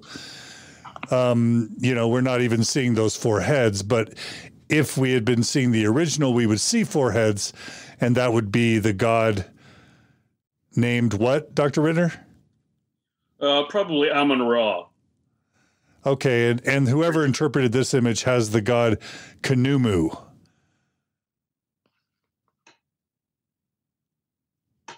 Um, god Khnum. Yeah, and and that's again whoever made this uh, interpretation. That, that, that I don't, I can't tell you. Okay, well, it's not even there, so it's hard to say what what it should be. Um, Hey, John, can I bring up something Please. before you go to number two? I'm Please. sorry. I know we're never going to get through at this rate, but this is really interesting to me. Kolob is what Kerry Muhlestein, he cites it as a bullseye for Joseph Smith, not because it's Egyptian for anything, but because the root KLB in Hebrew can mean middle or center. Now, he doesn't go into any uh, great lengths to talk about why a Hebrew word for something is present in an Egyptian hypocephalus. But if you'll put that image back up there on the um, on the screen there, John. Yes. This is where it has led to this idea that Kolob is in the center of the universe. Have you ever heard that, John Dehlin? Absolutely. It's because it means middle or center. In Hebrew, at least according to Kerry Muhlestein, I expect he's right about that much. But I can't help noticing where figure one is that it's identified as Kolob. Where is it? Well, it's in the center. It's in the very center of the hypocephalus. Right. So Joseph Smith took Hebrew that he learned from Joshua Seixas in 1836. Kolob, KLB means center, and he identifies the center of the hypocephalus as being Kolob, the residence of God. Because maybe that is kind of throne like looking when, when you're you're looking at that figure. Is that maybe it? Oh, I'm just saying that even more obviously, he's identifying the center of the hypocephalus. Right, right, right. a word that means center in Hebrew. Right. Yeah, that makes sense. Well, he's clearly letting Hebrew influence him, and I've I've had colleagues inform me that Smith had the resources of an Ashkenazi uh, Hebrew scholar. I assume that's who you mentioned. And so, yes, Joshua Seixas. He came and taught Hebrew to the school of the prophets in 1836. So that's that's that's where that bit of information came from, and that's why he would have identified him with this figure. I think so. There, there is no Egyptian writing there next to him that says any such thing. Right. Okay, so for figure two, um, Joseph Smith. So so sort of at, at twelve o'clock, the the figure around twelve o'clock of the image. Above above the center, Joseph Smith wrote, stands next to Kolob, called by the Egyptians Oliblish, which is the next grand governing creation near to the celestial or the place where God resides, holding the key of power also pertaining to other planets as revealed from God to Abraham as he offered sacrifice upon an altar which he built had built unto the Lord. Is any of that what you're reading in figure 2 Dr. Ritner?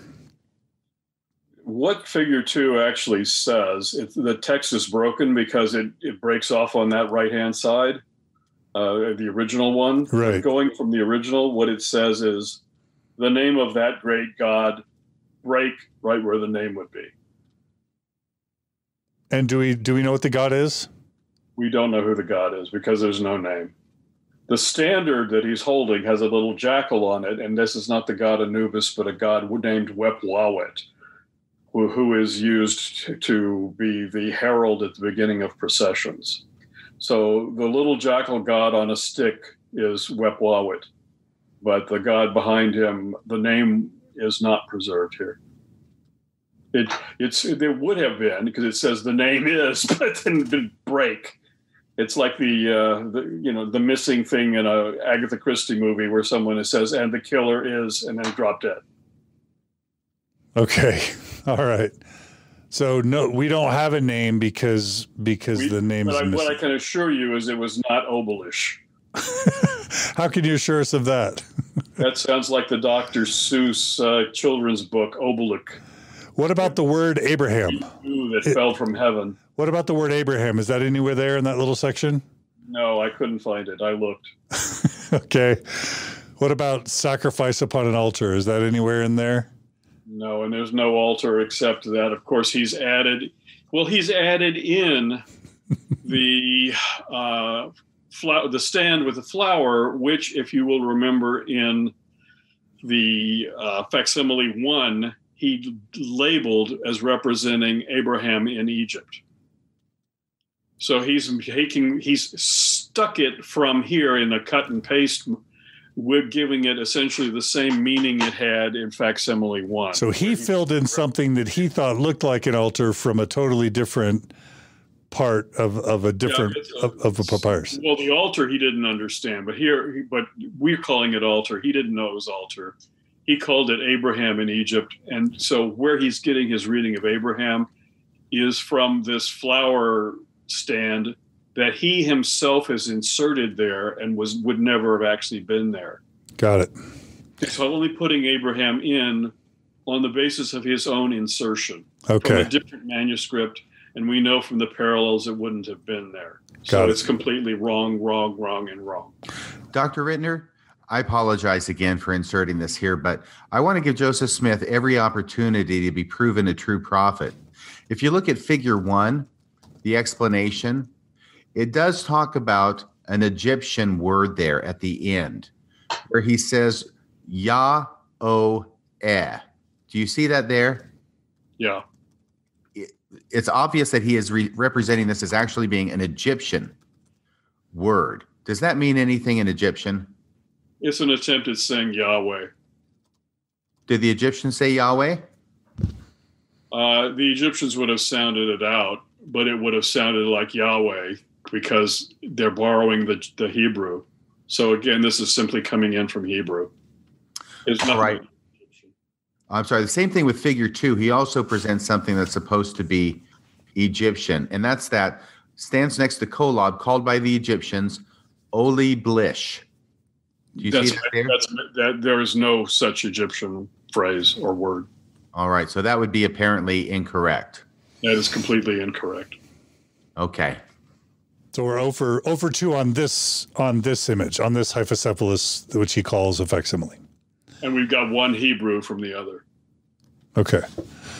All right. So figure three, which we know he's he's copied and pasted from a totally different papyrus, right? Um, What because because figure three would have been drawn in or or copied and pasted from a different totally different document entirely, right? We've already established that. yes. Excuse me. I'm shuffling images, but my my laptop is so small it's hard for me to read the tiny details on that picture. So it's the man it's the man sitting on the boat um that that that he Oh, sure. Yeah, that's that's raw. That's that. That's yeah. And so he called it is made to represent God sitting upon his throne, clothed with power and authority, with a crown of eternal light upon his head, representing also the grand keywords of the holy priesthood, as revealed to Adam in the Garden of Eden, as also to Seth, Noah, Melchizedek, Abraham, and all to whom the priesthood was revealed. Now, now we know that um, this does this image doesn't even belong in this hypocephalus, but let's just say that he was still translating that little fragment that he pulled from elsewhere. Do you see uh, Robert Ritner in that little section three, the word Noah, the word Seth, the word Melchizedek, the word Abraham, Garden of Eden, Adam, holy priesthood, any of those things in that little section three? Uh, the only thing that I can see in there is a the crown of eternal light. That is the sun disk, which is sitting on the God's head. Well, what about all those other things I just read that Joseph found in there? Other than other than the the visible circle of the sun, nothing. So none of those words appear in that third section. Not one. Okay. So, but but light on top of a head, he did get right. He recognized the circle as representing the sun disk. RFM, anything you want to add about figure three? Are there any words in that figure? There are some fragments of words that are taken over from the Book of the Dead, but they're not whole words. They're just bits and pieces. There was what happened to be next to this image on the other papyrus Okay. And you're not able to read those then. because they're incomplete. Okay. On either side of the seated God, there's a fancy eye sign, which is a protective hieroglyphic symbol that means that's ujat, which means uh, health, security, safety. Oh, really? Does it? So is it possible to It's interpret the, it's any of the that? eye of Horus. Mm-hmm. Like health in the navel, marrow in the bones, perhaps? Yeah. what are you doing, RFM? well, I'm just proving that Joseph Smith is a prophet because what he said here is that it represents uh, what was it? Figure three, the grand keywords. Yeah, is also uh, the grand keywords of the holy priesthood, as revealed to Adam in the Garden of Eden, and all those other guys to whom the priesthood was revealed. I mean, I don't want to go too much further into it because you know I am bound by blood oaths. But seriously, health. I don't know anything. Marrow is not implied necessarily here, but but health, yes. Okay, health in the navel, though, perhaps. Navel, no navel, but health.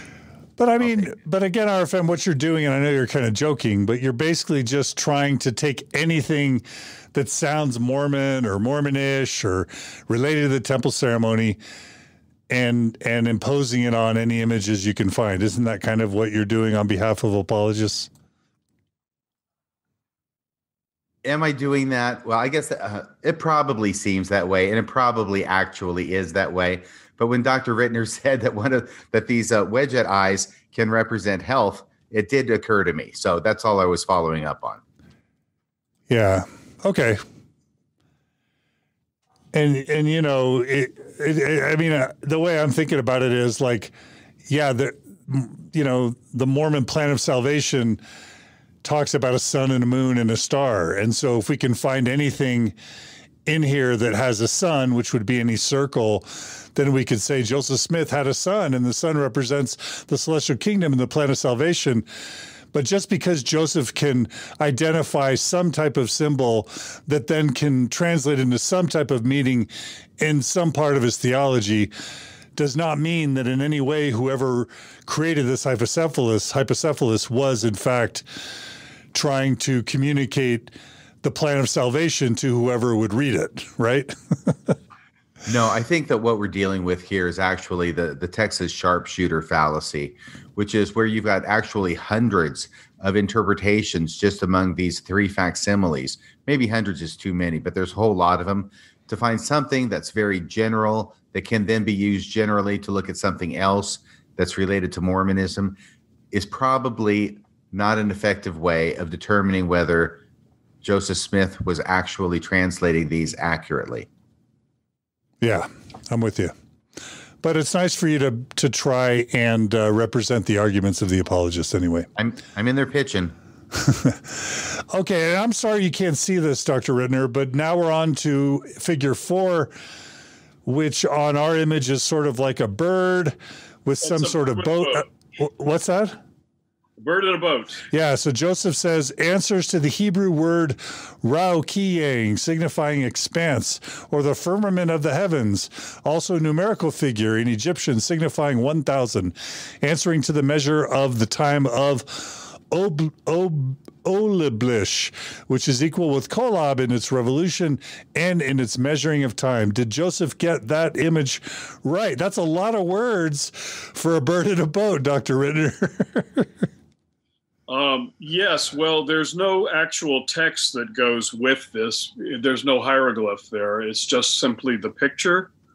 And it represents the god Sokar in his bark. Sokar is a god of Saqqara, that's where the name comes from, which is the burial place outside of Memphis in Egypt, near Cairo. He is the god of the cemetery there. Uh, he is the god of inertness, the stage of death just before life, and he's often considered to be an aspect of the god Osiris. Um, other copies add variants of his epithet, Ba Bao Bao, uh, the Ba spirit of the Ba spirits, etc. But there's no text here. Okay, but Joseph is finding you know, there's no ob- obelisk, Obliblish no, and Rao no Kiyang. There's no Rao Kiyang, which he admits is Hebrew. Another example of intrusion of Hebrew, which occurs over and over again in this. What about the number of thousand? It has is, nothing it... to do. He is he is a god who's referred to as Chthonic, as to say he's of the earth. So he is not heavenly; he's earthly. How about the number of thousand? Can you find that anywhere for us, Doctor Ritner? No, absolutely not has nothing to do with the heavens. Okay. Bummer. Okay. Oh, oh for 4 ish. Number five, if we're looking at number five, we are looking at the cow, the upside down cow, below the center, immediately below. Um, Joseph calls the upside down cow. Uh, it's called an Egyptian Inish Go Ondash. So he's getting very specific here. This is one of the governing planets, also. I don't know why he's calling a cow a governing planet. And is said by the Egyptians to be the sun and to borrow its light from Kolob through the medium of Kai e Vanrush, which is the grand key, or in the other words, the governing power, which governs 15 other fixed planets or stars as also flows sea or the moon or the earth and the sun annual revolutions planet receives its power from the medium of I almost feel like I'm not looking at the right image because how in the world is he getting all this from an upside down cow? RFM, help me out here. He goes on to have these because because Joseph Smith believed that a single Egyptian character could be translated into large expanses of text. But I mean, it says this planet receives its power through the medium of Kli Floss Is S or Hako Cow Beam. The stars represented by numbers 22 and 23 receiving light from the revolutions of Kolob. He gets all that from an upside down cow, and I'm just not seeing it. it's only upside down if you're looking at it wrong side up, John. just turn it. Well, let me let me tell you what's right about that. Okay, that, okay. that's the shorter answer. Uh, in Egyptian mythology, when the sun god departed from the world of humans, he rose up on the back of a sky cow. The goddess Hathor manifested herself as a cow. She put him between her horns and she rose up into the sky. So the Egyptians can depict the sky in the form of a giant cow. On and it is on the back of the cow that the sun god rides. That's why the cow is on this sun disk.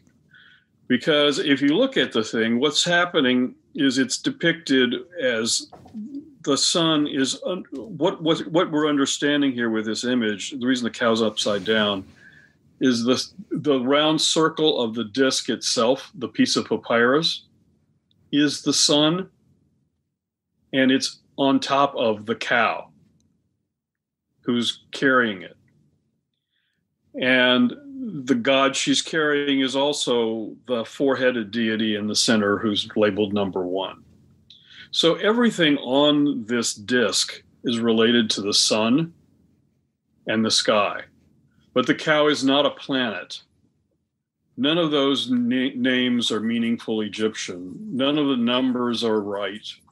And the cow is simply representing the whole body of the heaven itself. And the goddess whom we will get to, uh, I think we get to her uh, right behind the cow, who has who's shown full face and is holding a lotus. That's the goddess Hathor in one of her in her manifestation in, in female human form. So these are two depictions of the sky goddess, and they're placed center, supporting the whole disc. So they're acting as the fulcrum on which the disc rests.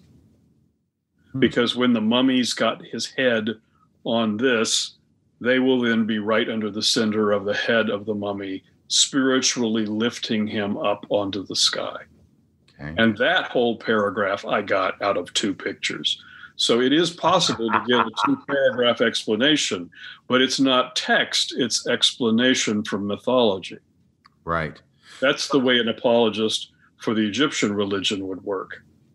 So Inish Go Ondosh, which is called in figure five explanation to be Egyptian, is that Egyptian? No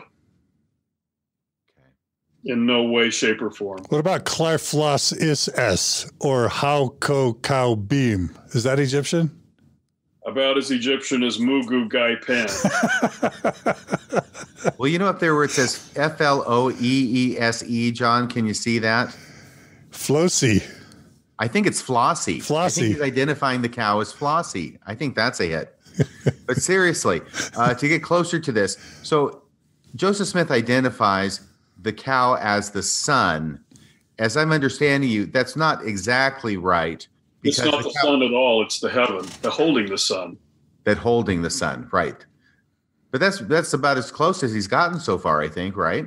Yeah, acknowledging that it has something to do with the sky is correct. Okay. But when you're dealing with the afterlife, you're probably gonna be right if you call something having been related to the sky or, or the heavens, right? I think when you got excommunicated, you lost the spirit of God completely, John. He's such an apostate. Yeah. Yeah. That's true. Guilty. It was close. It was very close. But unfortunately, these words that are represented as being Egyptian and specifically so apparently end up not being Egyptian at all. It's just, just it's just gibberish, really. All right, let's move to figure six. Figure six is to the left of the upside down cow, and those look familiar, uh, Dr. Ritner. It looks like those four figures that we got from facsimile one. Do you want to? So Joseph says represents this earth in its four quarters. What are those four figures and what do they represent, Dr. Ritner? All right. Well, this is going to take some time. Let's go to the next slide. All right.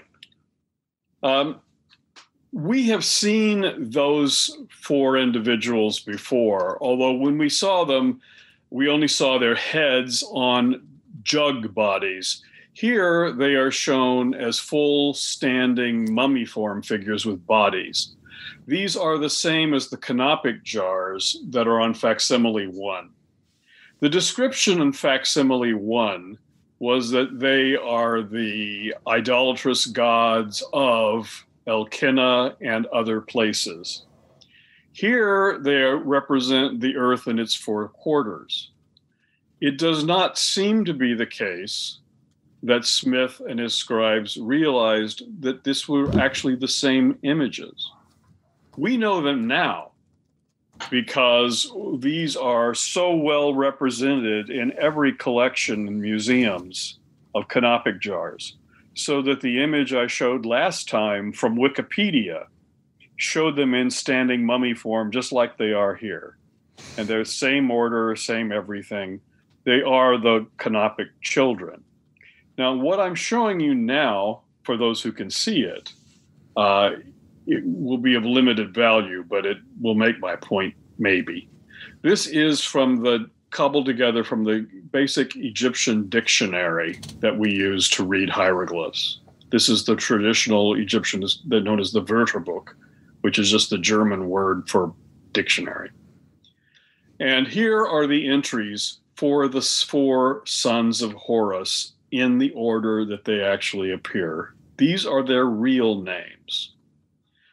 The name of the first one with the human head is Imseti, and his description is at the top. For those of you interested in knowing what an Egyptian dictionary would look like for modern scholars, you get the transliteration that is to say, at the far left column, we put it in letters that we can read in Englishish letters, followed by the way it would look in actual hieroglyphs. Then you get the block of definition and you get variant examples of how it can also be written. That's the way this works. So it's your quickie introduction to how to look up an Egyptian text. Now, unfortunately for the viewer who can see this slide, the dictionaries in Egyptian are primarily in German because it was the Germans who really, be, in large measure, began the work on the language in the field uh, after Champollion. So, what we have here in the inscription, and I'm squinting so that I can actually see my tiny screen. It says one of the, the son, a son of Horus,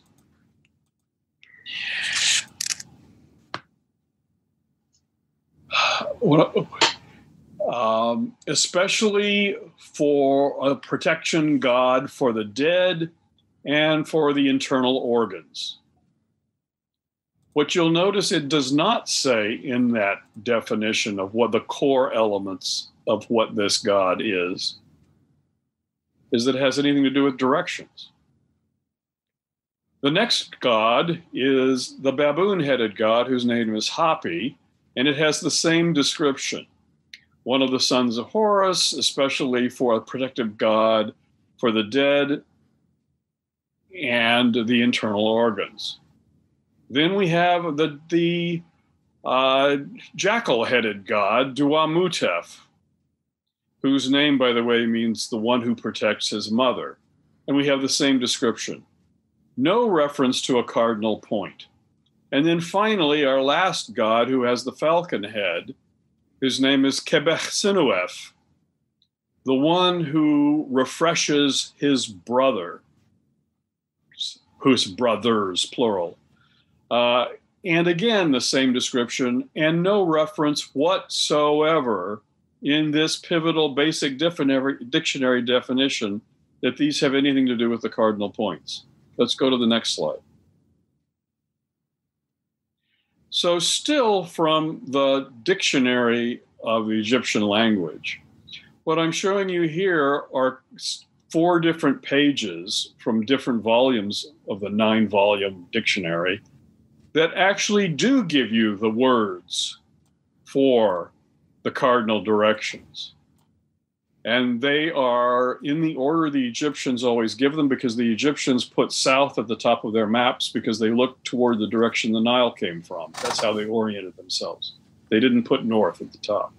So, south, the word is Resi. You'll notice it's not any of those four sons of Horus, and you don't see those figures there in the hieroglyphs. North, Mehti, doesn't look like anything that we just saw. East, Yabtet, doesn't look like anything we saw. And west, Yementet, doesn't look like anything we saw. If the Egyptians wanted to indicate the four corners of the universe, they would use either the god who's at the center of the hypocephalus that's got four heads, or they would use these hieroglyphs, which are clearly not what's there in the text. I want to draw your attention also while we've got it, as well as you're getting your, your basic hieroglyph lesson. The last entry under East shows the writing for East, and it's added a little snake. The German definition there tells you that that actually says goddess of the East. That is a real personification of the East in divine form. That's what it looks like. Look at the last example for West. There you have the word for West with a little snake determinative. That snake goddess is the actual personification of the earth in its western corner. So that's what you would have had if you wanted to do that, and not the four sons of Horus. You'll notice they're not in the basic dictionary. They're not used for the basic words for south and north, and they're not in the representation even as the personified deities, and I'm not done yet. So, next slide. Now, there is a text that is referenced by some to show that there is a link between the four sons of Horus and the four cardinal directions. And I would agree with that. Because anytime you have a group of four, it automatically, in Egyptian symbolism, as in symbolism of almost any culture, if you have four, it's going to represent the four corners of the, of the earth, which are based on our four sensory directions of our body front, back, left, and right. So it's basically just our body projected onto the world. That's why there's four and not five or six. Uh, so even though there's no text that specifically says this God equals this equals that, north, south, east, west, so much so that it's not in the dictionaries or anywhere else. We have one text from Medinet Habu where the Oriental Institute has been excavating for as long as and copying for as long as we have existed. It is our temple. And there are reused blocks there that are from an earlier reign. The temple of Medinet Habu is for Ramses number three. But there are reused blocks from Ramses number two that are inserted within it as fill, basically cut and paste.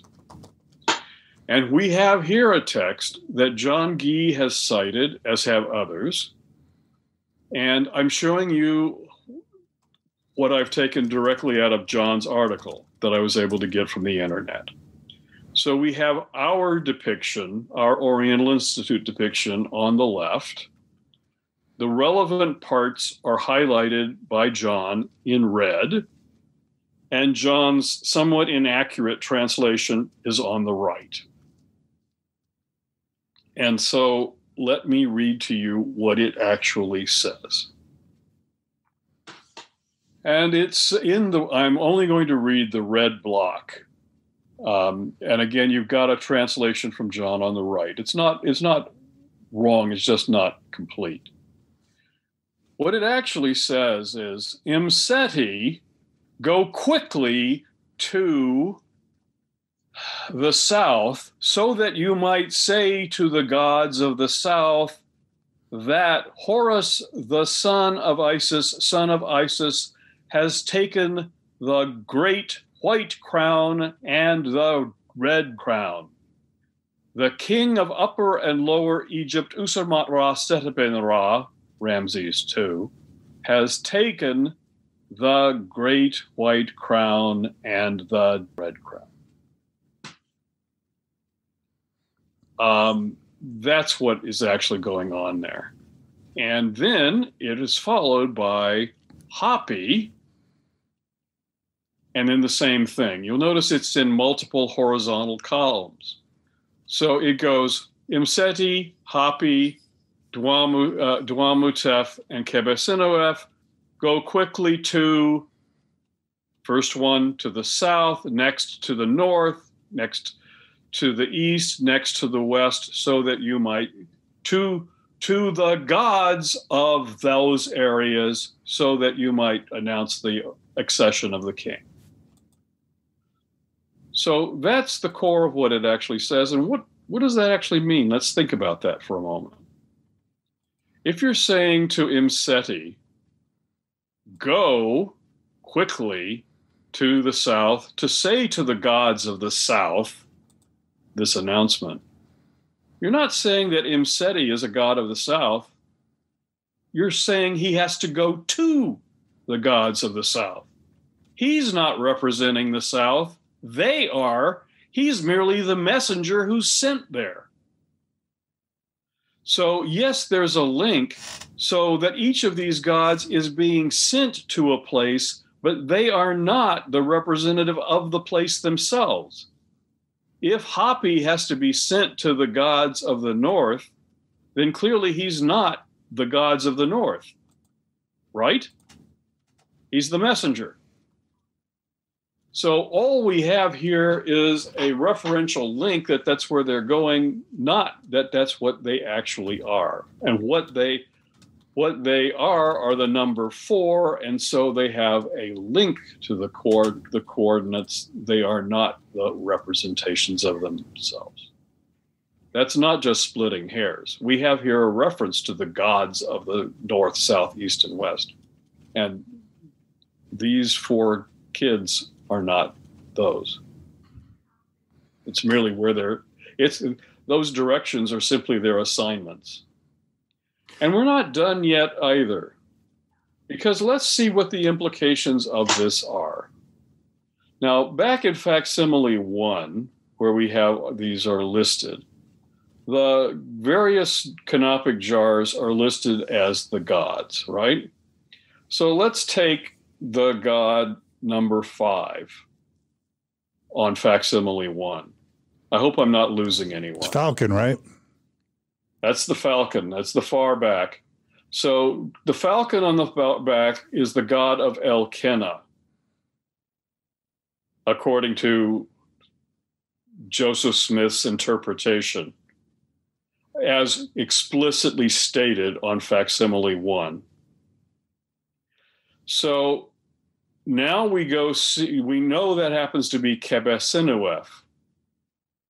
So now let's look about, let's look at what it says about Kebesinuef in John Gee's article, where he's claiming that this particular inscription proves the validity of facsimile one. You have to bear with me here. So Kebesinuef is the last god mentioned in the red square. In this Egyptian text, you're reading from right to left. So he's the vertical column at the far left, at the upper left edge of the box. So it says, Kebeh Senuef, go hurriedly to the west, so that you might say to the gods of the west that Horus, the sun, etc., has received the great white crown and the red crown, and the king Ramses has done so, etc. So, where is Kebeh Senuef going? And what direction is Kebeh Senuef associated with? Clearly, explicitly, the west of Egypt, right? Couldn't be any clearer. The word for west is written in the unambiguous word for west. And in John's translation, he recognizes that there is no objection that that is going that God is going to the west. And therefore, if that God is the God of the west, and he is the God of Elkenah, where is Elkenah? East. it has to be Libya. And so this is saying in facsimile one, and in the book of Abraham's text, which describes all of these activities at Elkenah, where the Egyptians are in control, and Abraham has free movement, that Abraham is in fact wandering through Libya. That is the logical deduction of the evidence that John Gee has authorized and insisted is accurate. And there is no other logical explanation except by a simple process of rational deduction. If this God is this place, and this is an accurate equation of a God with a known direction, and here it is. This is the one text that makes it explicit, and John Gee sanctions it and that direction is west, and that the God has to be Elkenah, and Elkenah has to be where that God goes, then Elkenah has to be west, and the west of Egypt can't be Syria. It has to be Libya. And the last time I looked at any of the accounts of Abraham, the ones that are coming from mystical traditions or anywhere else, none of them put him with sheep in Libya or without the sheep. And when I had said east earlier, Dr. Ritner, I was referencing some attempts by apologists to make it the god of Canaan. Well, it would still be a problem if, in fact, it's Kebeh It would. For the very reasons that John has trumpeted proving over and over again in multiple discussions, lectures, and articles available on the internet, which is where I downloaded his images, that this has to be equivalent to the god of this site, and it has to be uh, a Kebeh I didn't draw those relations, John did, and the only logical explanation that anyone can draw from A equals goes to B, goes to C, is that this has to be on the west of Egypt. And so, Abraham, if the text of Abraham is true, all of the events, every single thing he's describing, is taking place in modern Libya. I think what you've illustrated is a good example of something that I see sometimes with Mormon apologetics, Dr. Ritner, and that is they will take the four sons of Horus in facsimile one, as John Gee has done recently in his article at The Interpreter and elsewhere, and try and find some kind of connection to Joseph Smith's names for these four deities in Mesopotamia or uh, among the Hittites or anywhere he can find something that is remotely close and call that a bullseye.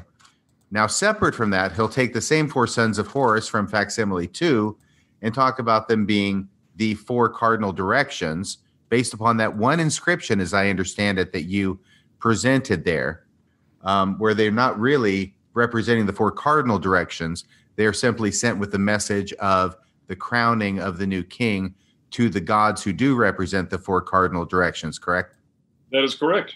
And if you leave it there and don't go any further, you're safe enough as a Mormon apologist. But what I hear you doing is actually taking those conclusions and those arguments to their logical conclusion. Well, this is what I'm arguing is that you can't look at something for just one little piece. You have to see the whole coherent picture.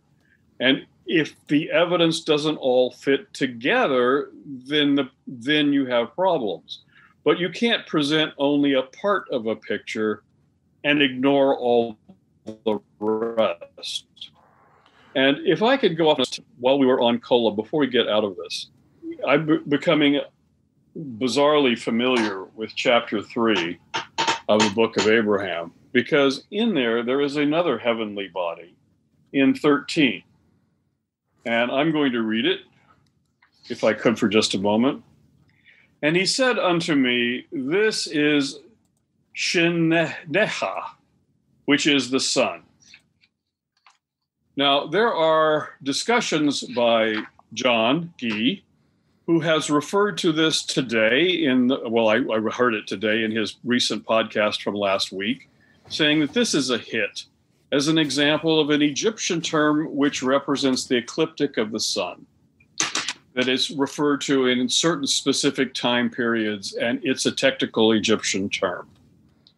And I discovered that Shinehah even has its own web page on Wikipedia saying basically the same thing. And I assume it was an apologist who represented that.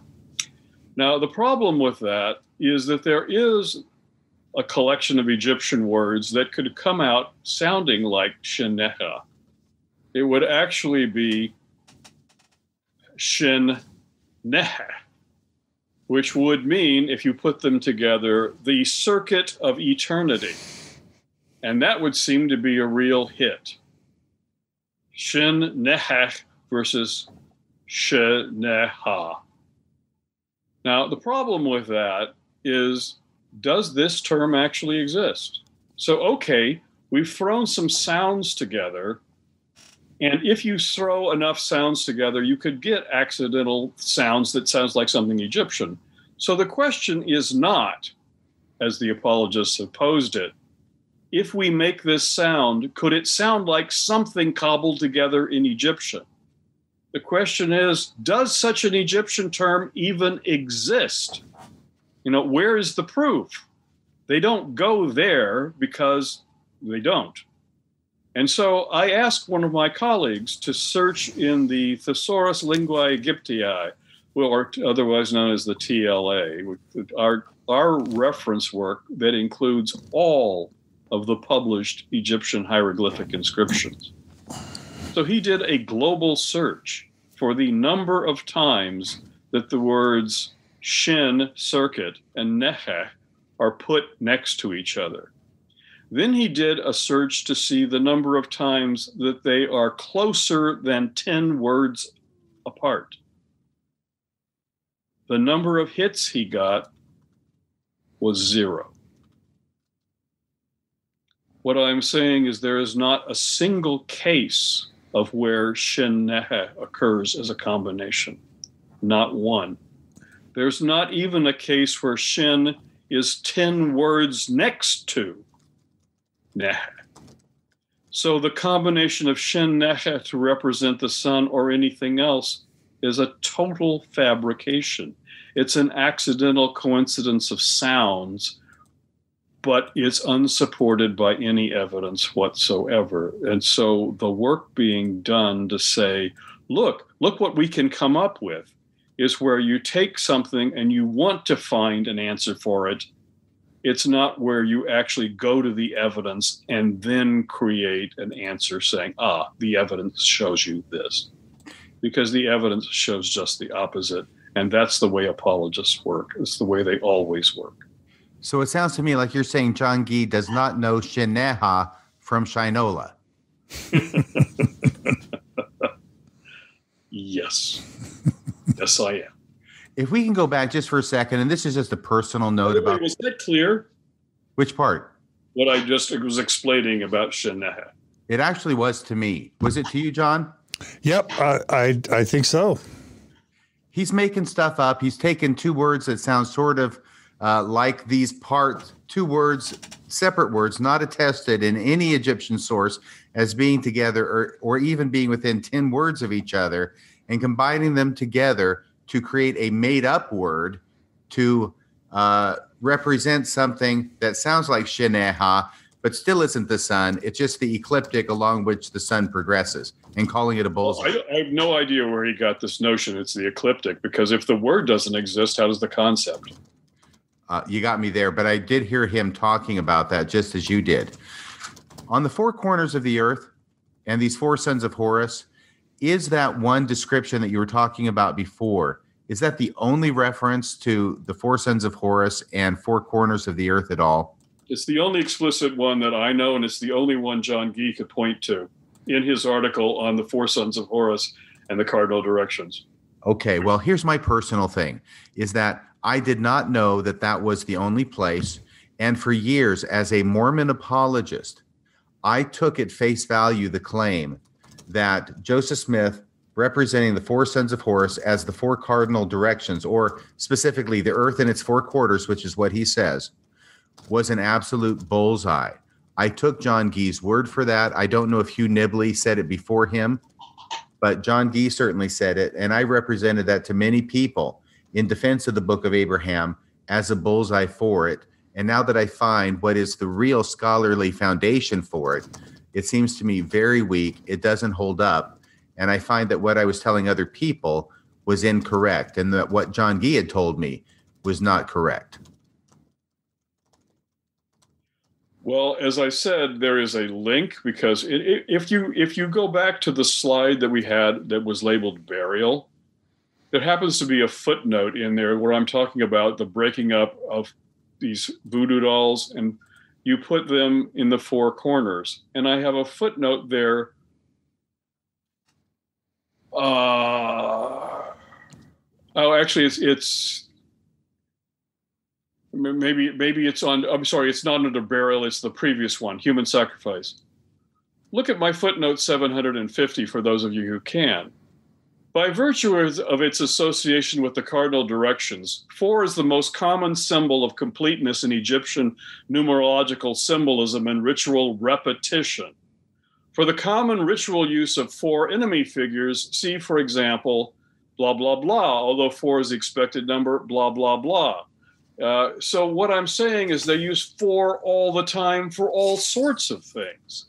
So yeah, we have four different prisoner figures that represent the four directions. You can have four chests. When you bury someone in a in an excavated tomb, there are in Book of the Dead 151 spells for four specific bricks that are put in the four corners of the room which are associated with four goddesses. All of these things represent the four corners of the universe. So if you're saying, can these canopic jars do that? The answer is yeah, uh, so can any four figures. And all these ritual figures are multiple. Uh, there, look at my note. And there, I'm actually, I'm not talking about Book of Mormon, and I'm not talking about the the uh, canopic jars, just another group of four. So any group of four that applies to. So in a way, uh, Nibley's idea is not inaccurate.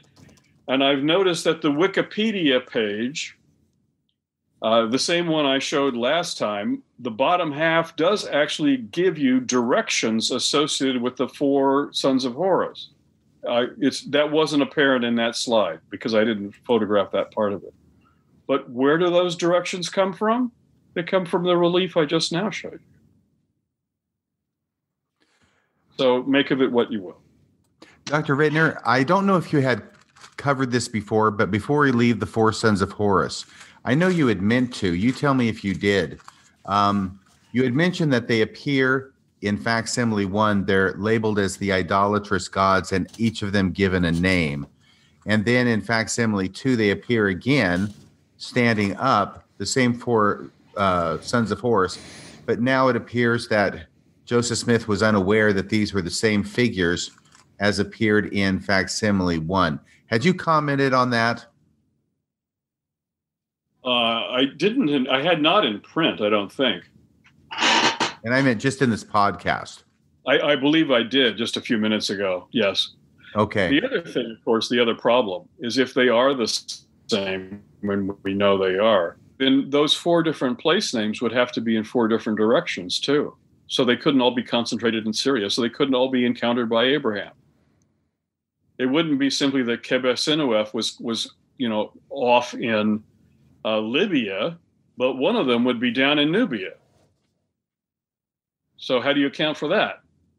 Abraham was a was apparently a very good wandering fellow.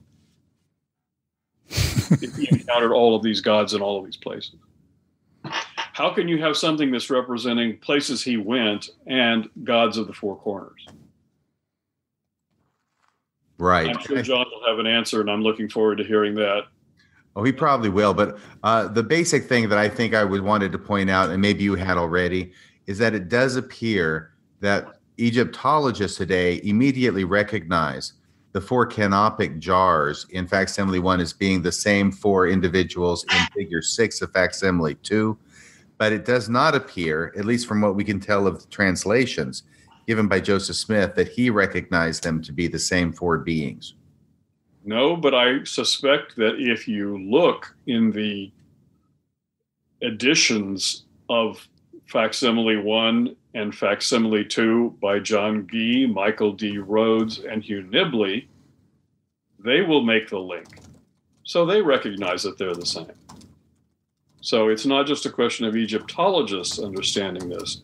It's so well known that anyone who just looks at the Wikipedia page which is why I brought that up last time. This is com- this is essentially now common knowledge. People recognize this. Uh, we have school children who come in on museum trips to our galleries. They can point these things out. It's something that's that's taught now. Mm-hmm. Uh, obviously, nothing like that was known in the 1800s. So our, our world is quite different, and anyone now with computer access can learn all about the details of Egyptian uh, religion and iconography. But obviously, there was no way. I mean, we can't fault Joseph Smith for not knowing who these were. Uh, I'm merely faulting him for making up a translation. Got it. Had you said everything that you wanted to say about the four sons of Horus, Doctor I think, I, I think I've talked them to death. Okay, so so coming back to to the image for a second, we were pointing people to section six of the hypocephalus, which has those four um, uh, sons of Horus, which which were on the canopic jars in facsimile one. Um, and and of course, you know, we've already mentioned that uh, in facsimile two, uh, Joseph Smith called these representing uh, this earth in its four quarters. And everything that we just said before is a really long way of of then allowing you, Dr. Ritner, to tell us in the context of this hypocephalus, what would those four figures represent um, as you would read this in the context of the hypocephalus, Dr. Ritner? Well, these are the protective spirits for the body of the deceased.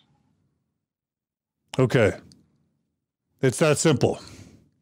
Uh, that's, I mean, perhaps the number four, perhaps this is one case where there the number four might be the four directions, except there's no specific implication that that's the case. Okay. Except, we're, we're in other words, we're getting that notion not from some inscription not from something that's inherent in those gods, but merely because of the fact that there are four of them. Yeah. So the interpretation is coming from four. If, if they were four Twinkies, come up with the same thing. In other words, it's not the thing itself, but merely how many of them there are. And and That's I just the kind of argumentation you need to use when you're trying to understand what the symbolism is. It has to be intrinsic in the figure and not just how many of them there are. And I, w- I would like to make a process observation at this point, kind of a meta observation. So we don't know if Abraham really existed we know that Joseph got the names, you know, the purposes and the names of the scrolls wrong. We know that he got facsimile one totally wrong. We know that he's got facsimile two totally wrong. We know that in the case of both facsimile one and facsimile two, that they've drawn in completely erroneous or copied and pasted completely erroneous portions, um, you know, into facsimile two in this case from from totally different documents to to fill in the holes. Like like in every possible way this is really an absurd discussion which is why most egyptologists would probably avoid this discussion altogether. But here we have the apologists saying oh my gosh here's a big hit. There's four you know, figures in a part of this hypocephalus that represent the four corners. And so now what we've done is we've taken an entire probably 30 minutes to 45 minutes of our podcast digging into this really deep sort of detail or minutia about why those four figures may or may not represent north, south, east, west, uh, when in reality, we would probably lose most of our listenership because A, they're listening, not viewing, and B, their eyes and ears are glazing over as they are trying to follow the technical language that we're talking about. And the reason why I'm bringing all this up, Dr. Ritner, is not to be um, un- ungrateful for your amazing expert time with us, but it's to it's to sort of highlight the game that apologists play. When Dallin H. Oaks met with apologists a few years back, he said we don't have to get, you know, th- this is me paraphrasing. He basically said, uh, it's not that we have to give accurate, complete, precise answers. What we have to do is give answers. And if we can get this again, this is my interpretation of what he's basically told the apologists. But if we can just get fancy PhD level Yale Egyptologists to give a plausible um, hit um, and we'll throw a thousand. We'll let John Gee and Kerry Muhlestein, we'll pay their salaries. We'll let them fly all over. We'll let them use fancy Egyptian jargon and their interpretations of scrolls.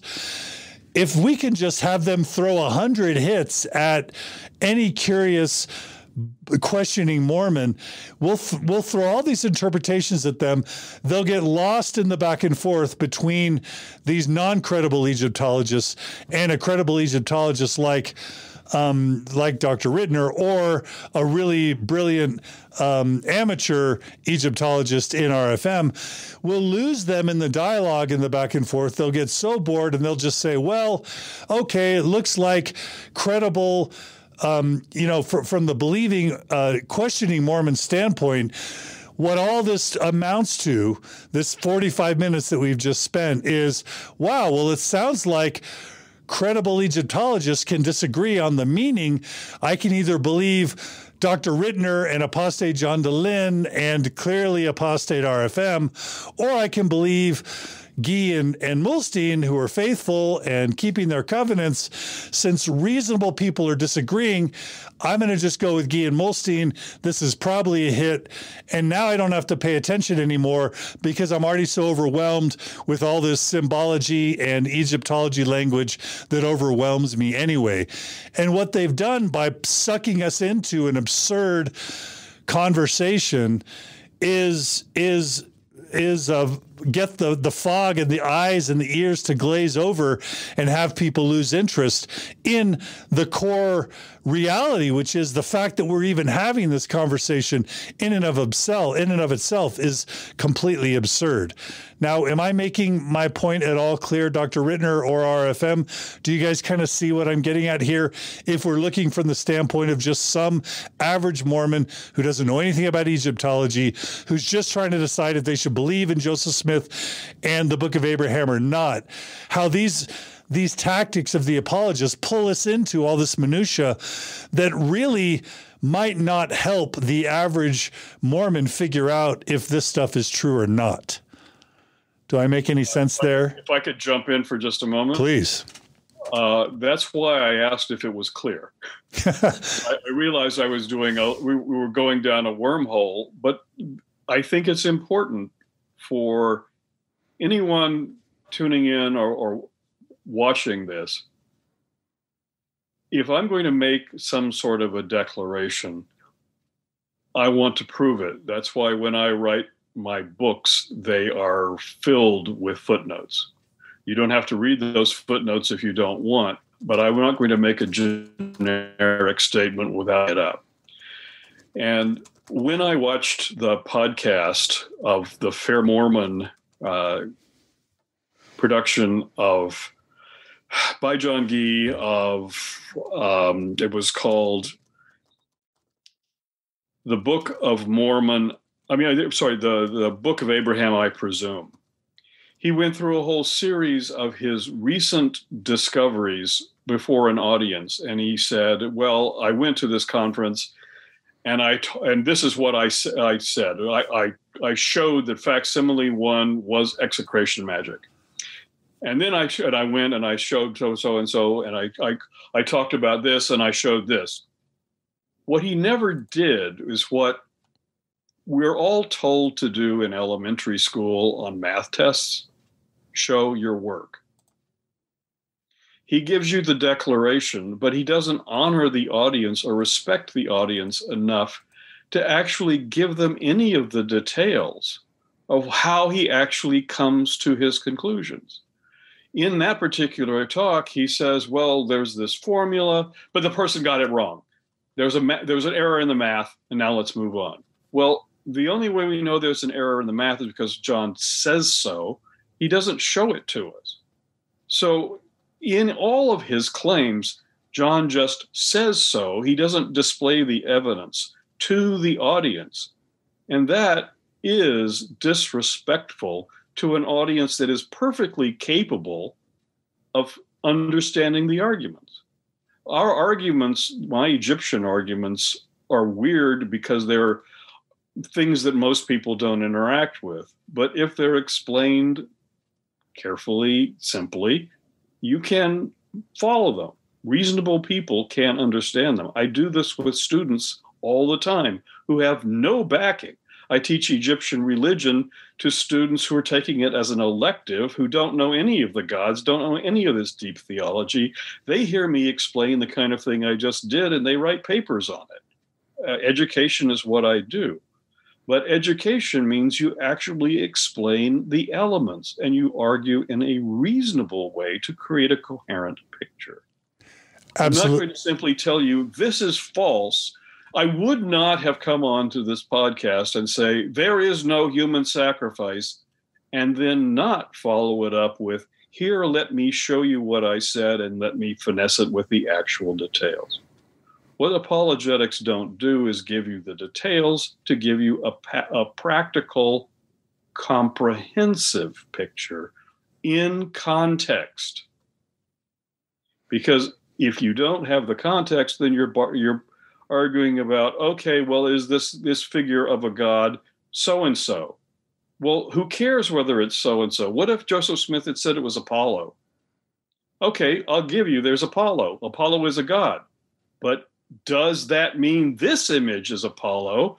And does the fact that that's Apollo allow you to put Apollo in a text supposedly spun off of it? They don't do those. They don't do those extra steps. It's just okay. Yeah, this one fact we can just say that that's this, and we're done now. And that doesn't work. And John, this morning on what I heard from the from last week's uh, interview uh, on Mormon Voices, I think it is Fair Voices. Whatever. I'm sorry, I don't don't know these. Uh, he, he he talked about the difference between work by inspiration and work by scholarship, and he said you you couldn't just have an inspirational understanding of the book of Abraham. You had to actually do the scholarship, and sometimes things like this were boring, but you had to actually do them. So I would agree with him it's time he did. Absolutely. John, can I give you my overview of why this has been so many wormholes? Yeah, please, RFM. Okay, it's all set up by the apologists. Now, what I see going on, first off, we've got two similar things going on, and there are others as well. But the first thing we have is the issue about human sacrifice in ancient Egypt. We spent a lot of time on that. Second thing we had to do with was the four sons of Horus representing the earth in its four quarters. And we just spent a lot of time on this. Now, breaking those down and giving you the overview, please let me know if I have this wrong, Dr. Ritner. The state of modern Egyptology is there is a consensus that the ancient Egyptians did not, repeat, not practice human sacrifice. And yet the Egyptologists go to this one example, which Dr. Ritner noted in his doctoral dissertation at that fort that had that individual who was apparently slain to create an angry ghost. And they cite, the apologists cite that as an example to prove that, contrary to the consensus, there actually was human sacrifice in ancient Egypt. And so, because they go contrary to the consensus and pick out one example which actually does not support their position, it is left to people who know what they're talking about, like Dr. Ritner, to explain in detail why that does not support their position that there was human sacrifice in ancient Egypt. Those are the details that apparently the apologists do not want to go into. And the same thing, I think, happened with the four sons of Horus. As Dr. Ritner showed by looking at the dictionaries, there's nothing in those dictionaries that talk about the four sons of Horus anywhere as representing the four cardinal directions. In fact, there are other individuals and other gods who do represent the four cardinal directions. And yet, by looking at this one inscription about the four sons of Horus being sent out to the four directions with news of the new king's coronation to give it to the gods who actually do represent those four cardinal directions, it leaves Dr. Ritner and you and I in this podcast in the position of having to explain in some detail why it is that the apologists are wrong in making this association. So the wormholes and the details are necessary to show why they're wrong. The reason they don't have to go into these details is because they don't want to go into the details. They just want to present the erroneous conclusion as if it's fact and then move on and say nothing to see here. Do I have that right, Dr. Ritner? You've just proved my point that an intelligent listener can understand all of this because you are you just got an A. Yes, and and Doctor, and let me be clear. I'm not saying that what what we just did wasn't valuable. I think it's extremely valuable because both in our first segment and in today's segment, what you're doing is you're actually showing the homework to show that the types of apologetics that Gee and, and Muhlestein and others and Rhodes have been using have not, uh, you know, are not based in legitimate Egyptian scholarship. I'm also just noting the fact that the game that they're actually playing is not to do good scholarship. What the game that they're playing is to just have you know names with with with credible sounding degrees and letters after their names give uh, Egyptian sounding like explanations showing symbols showing you know citations and footnotes so that the average member can just sort of go, huh, John Gee, where did he get his degree? Oh, it's at Yale. Oh, he's an Egyptologist. Oh, there's fancy hieroglyphics and footnotes. Well, clearly there's a smart Yale trained Egyptologist that studied this stuff. And yeah, there may be other people that disagree. I don't understand all these fancy words and symbols, but that's good enough for me. And that's all I'm saying is there's a bigger game that they're playing here that has nothing to do with what's true and accurate and scholarly. It's just provide like like Oak said, they're just providing answers. And to many members of the church, the fact that there are answers from a guy who calls himself an Egyptologist, who got a degree at Yale, or or Nibley, he's a smart guy. He got a PhD at UCLA and says he can read Egyptian. Well, if those guys say that they uh, they believe it, that's good enough for me. And I'm just saying, I'm frustrated at the, at the fact that uh, for for many of the members of the church who are trying to figure out if the book of Abraham is true, they're not going to have the time or the interest in listening to the details and reading the scholarship and reading Dr. Ritner's book. They're going to just have their eyes and ears glaze over and say, well, what Gee has done is enough for me. Does that make sense, uh, Dr. Ritner and RFM? That's exactly what he's doing. Yes. RFM, what do you, do you do you have any additional comment as well? Yes, the most important thing that I take away from this entire discussion, John, is that RFM got an A from Dr. Robert Ritner. You did. and do you want to address uh, what I'm I said? Sure you would get an A. That's all true. I got, a, I got a higher score than John Gee. I think you did. Hot dog. You'll get your PhD in the mail. Come on, RFM. Number one, that's I, I humor is essential. Number two, you got to validate what the frustration I'm expressing. Or I'm gonna. Oh, sure. Well, it's always frustrating, but you know, this is the way things are in religion and politics and anything where people have a very emotional investment in one side or another, which is they're simply going to look for people to validate what it is they already believe and if that person has a degree, then so much the better. Um, it's just uh, what is that called? It's called confirmation bias, right? Yeah. And you actually have to look behind what it is that John Gee is saying. You actually have to go beyond uh, his summary conclusions that he presents in his presentations, like this recent interview. Uh, he doesn't go into anything about what it is that he's talking about. In other words, why it is he's reached that conclusion. He just wants to give you the conclusion with the bare amount of facts that will support it. Um, I was just watching this morning uh, Kerry Muhlestein doing the same thing in another video where he talks about Kolob, right? And Kolob appears in the book of Abraham, and Kolob is from the Hebrew root, okay? Hebrew root KLB, which means center, and then he calls it a bullseye. And I'm going, okay, if I'm listening to this as a third party who's never heard anything about this before, what on earth does a Hebrew word that has a root that means center that shows up in the book of Abraham, how is that a bullseye for anything? Well, he doesn't go there. And then they flip to the next one. This is a FairMormon, I think, presentation. And they're just lining up the bullseyes. And it seems that if you say anything by a PhD Egyptologist, which Kerry is, and then say it's a bullseye without even without explaining why it is, and even though it doesn't seem like it would be, it's taken that way, at least if you want to believe it is from the outset. Thank you, RFM. Thanks, Dr. Ritner, and I hope you know uh, how grateful we are that you're that you're actually showing us the scholarship because you really are illustrating the weak foundation that Gee and Muhlestein and others are standing upon. So thank you for that. My pleasure.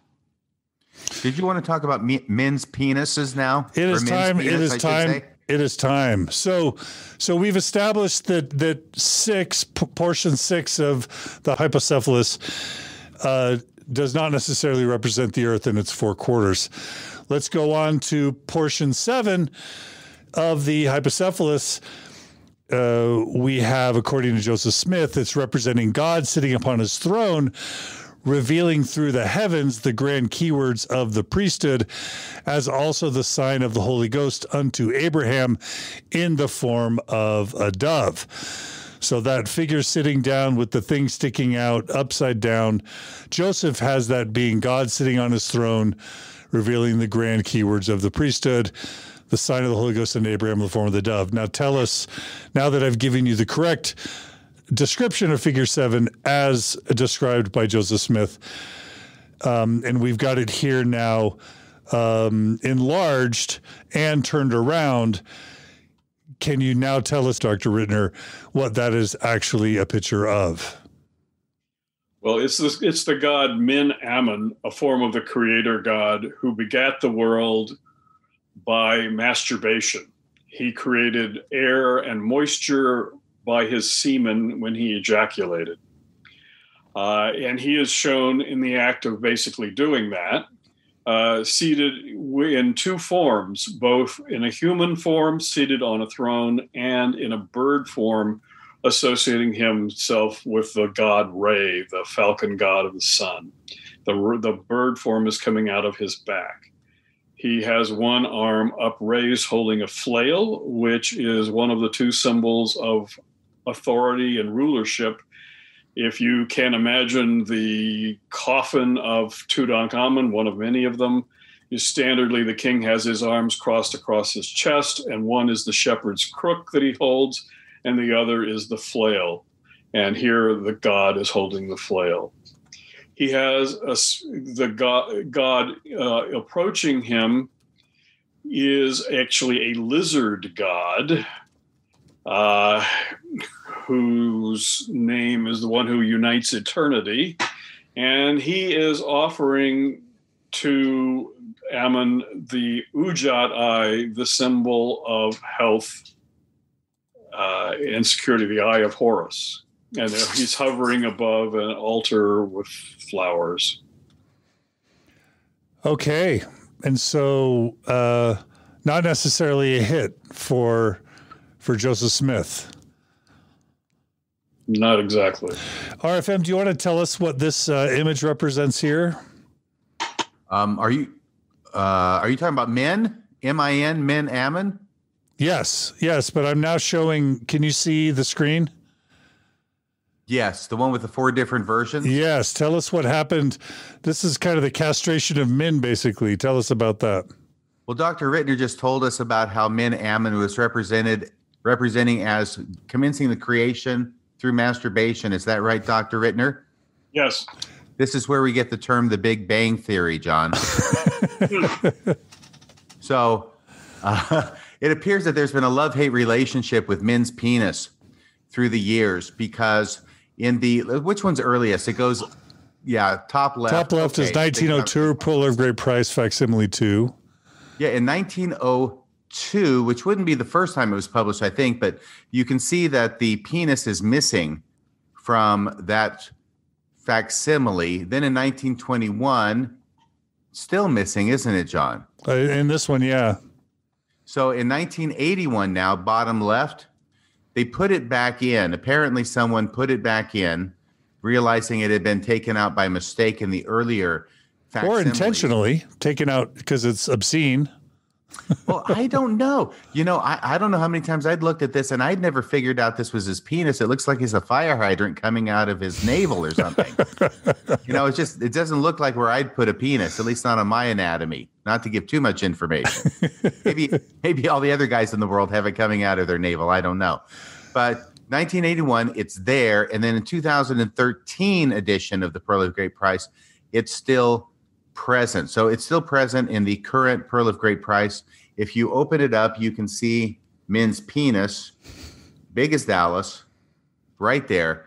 But in earlier editions, it had been taken out and perhaps out of modesty. Yeah, we talked last episode, Dr. Ritner, about sometimes, uh, you know, Christians or others being uncomfortable with with penises and, and scratching them out, right? I mean, this could be an example where the Mormons did that. True. we, I, the examples I showed you from the Temple of Dendera had that kind of damage in the Holy of Holies and the roof chapels where the where Osiris is impregnating the bird form of Isis, and in fact, in many cases, the, the penis has been hacked out. Exact, right there. Yep. And were you aware that that maybe so this more? Is a, this is a common phenomenon that we find. And were you aware that maybe Mormons had hacked out uh, Min's penis as well? No, I hadn't actually noticed that in the hand copy. I did. I did notice that Joseph Smith confused a, a Holy Spirit bird with a lizard, and the name of that lizard, the god, is named Neheb Kau, one who yokes the Ka spirits, the manifestations of reality. Whew, that's cool. Okay, John, so I think, I think, you'll agree with me that sometimes there, there's few things so satisfying as scratching a penis. Dr. Ritner, do you have a response to that? No, I'm going to let that one go by. I'm, I'm probably in enough trouble as it is. I, I'm just I'm waiting for 8, 9, 10, and 11. Okay. So going back, you know, so far, so Joseph's kind of really let's just say zero for seven for all intents and purposes. Um, figure figure eight. Joseph, so figure eight, if we look at the hypocephalus, it's on the kind of uh, on the left hand side in the middle towards towards the bottom of a series of, of rows. It's just some basic hier- hieroglyphics I'm I'm seeing. And according to Joseph, it contains writings that cannot be revealed unto the world, but is to be had in the holy temple of God. Are you able to read uh, figure eight and tell us what can only be revealed unto the world uh, in the holy temple of God, Dr. Ritner? Yeah, let's let's take these as a group. I'm glad you're able to do that. So eight, uh, nine, ten, and eleven. It's those four rows on the left hand side. Things to note here. One is if you went to go if you were to go back to that earlier slide that shows the refill and the damage. This is a section that is partially missing and has been filled in incorrectly with sections taken from the Book of the Dead of Tasheret Min in, in certain parts of it. Um, it is also misnumbered by Joseph Smith. So he doesn't, not only can he not read it to uh, spoil the ending, but he's read it backwards. So that line, that his number eight should, if anything, be 11 because it starts at the top and works its way down. You never go from bottom to top. You can go left to right, right to left. And the way you know that is you look at the face of the hieroglyph. Any figure that has a face, you read into the face. So it starts at the top in 11. And what it actually says is, O noble God from the beginning of time, great God, Lord of heaven, earth, underworld, waters, and mountains, the and mountains is missing because he, he's substituted at nine a, a, wrong phrase that's coming from the from the book of the dead of Tasheret Min. That's where it's a patch. Um, that the Ba spirit, that's the bird spirit of the Osiris Sheshonk, to live. And this is where the last bit of writing in the lower left count corner of eight is the personal name that survives of the original owner of this hypocephalus. And that is what is missing that was broken out where they inserted the wrong script in the circle over by the Ra in his boat in the upper right. But here is where it's actually preserved the Osiris Sheshonk. And that lets us know that this piece belonged to a mummy that was completely different from Tasheret Min, which has the restorations inside it, and completely different from Hor, from which the uh, flower altar is is is taken next to number two. So here's what actually lets us know who owned this. So one of the four mummies was named Sheshonk. And that is a name that's well known in the Bible because in the Bible it is ascribed to a king Shishak, which is a different pronunciation of the same name. The Sheshonk, Shishak are kings of Libyan descent who came to the throne in Egypt around 1000 BC. And it became a popular name after that, but it's of Libyan origin. And no one really knows what it means because it's not Egyptian, it's Berber. So, so that's what all of that is. Now, that corresponds to what you said for figure eight contains writings that cannot be revealed unto the world, but yeah. to be had in the t- holy temple of God. That corresponds to, O noble God from the beginning. No, I'm sorry, that's number 11, which is, yeah, O, o noble God in the time the second line, which is actually number 10, which he says is also. Number meaning, nine, meaning, meaning. I think ought not to be revealed at the present time. In other words, I'm just going to call you out on something, Doctor Ritner. A prophet of the Lord has clearly said that the meaning of eight, nine, ten, and eleven are not to be revealed at the present time unless it's in the holy temple.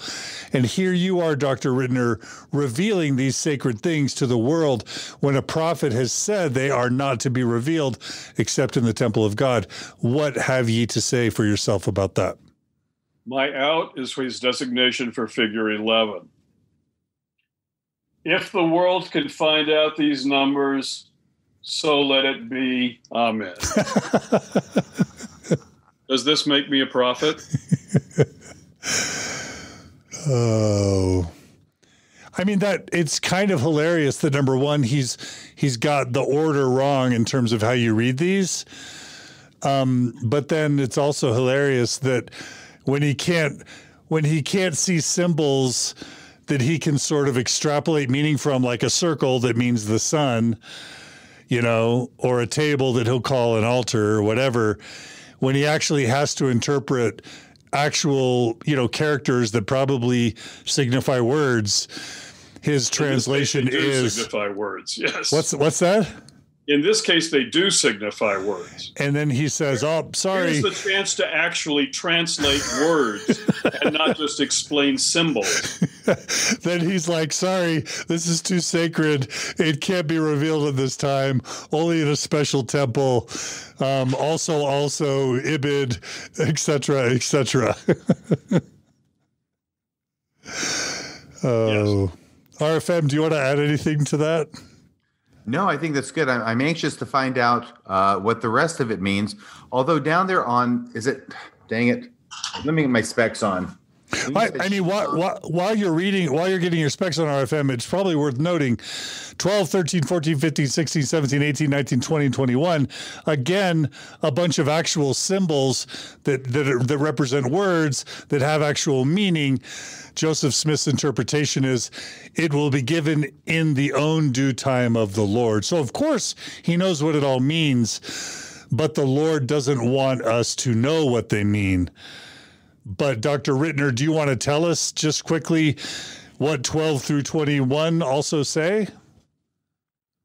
I mean, you, you probably it's probably not even worth reading, well, but well, actually, I was to... just struck by the similarity of his approach to that of John Gee. I know what it is, but I'm not going to tell you. Sorry, I think that's a really good comment that you make there, though, John, about the fact that wherever there is evidently actual script in need of translating, Joseph Smith begs off, and he only interprets the symbols and the pictures. Yeah, it's it's really convenient. And although in facsimile three, he's going to trip himself up and actually translate some real script. Yes.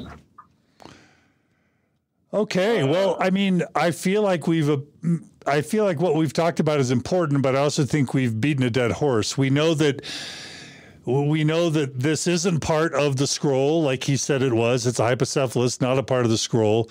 We know that the parts that he filled in were copy and paste jobs. We know that the characters around the circumference were were uh, out of place. We know that none of the interpretations of the of the actual figures did he get right. And then whenever he had a chance to actually translate uh, characters or words, he he passed and said that that these things are only to be read in a holy temple and that God doesn't want them revealed at this time. So it's kind of a joke, uh, which shouldn't surprise us. But is, is there anything else we're saying about facsimile two, in addition to that summary, Dr. Ritner?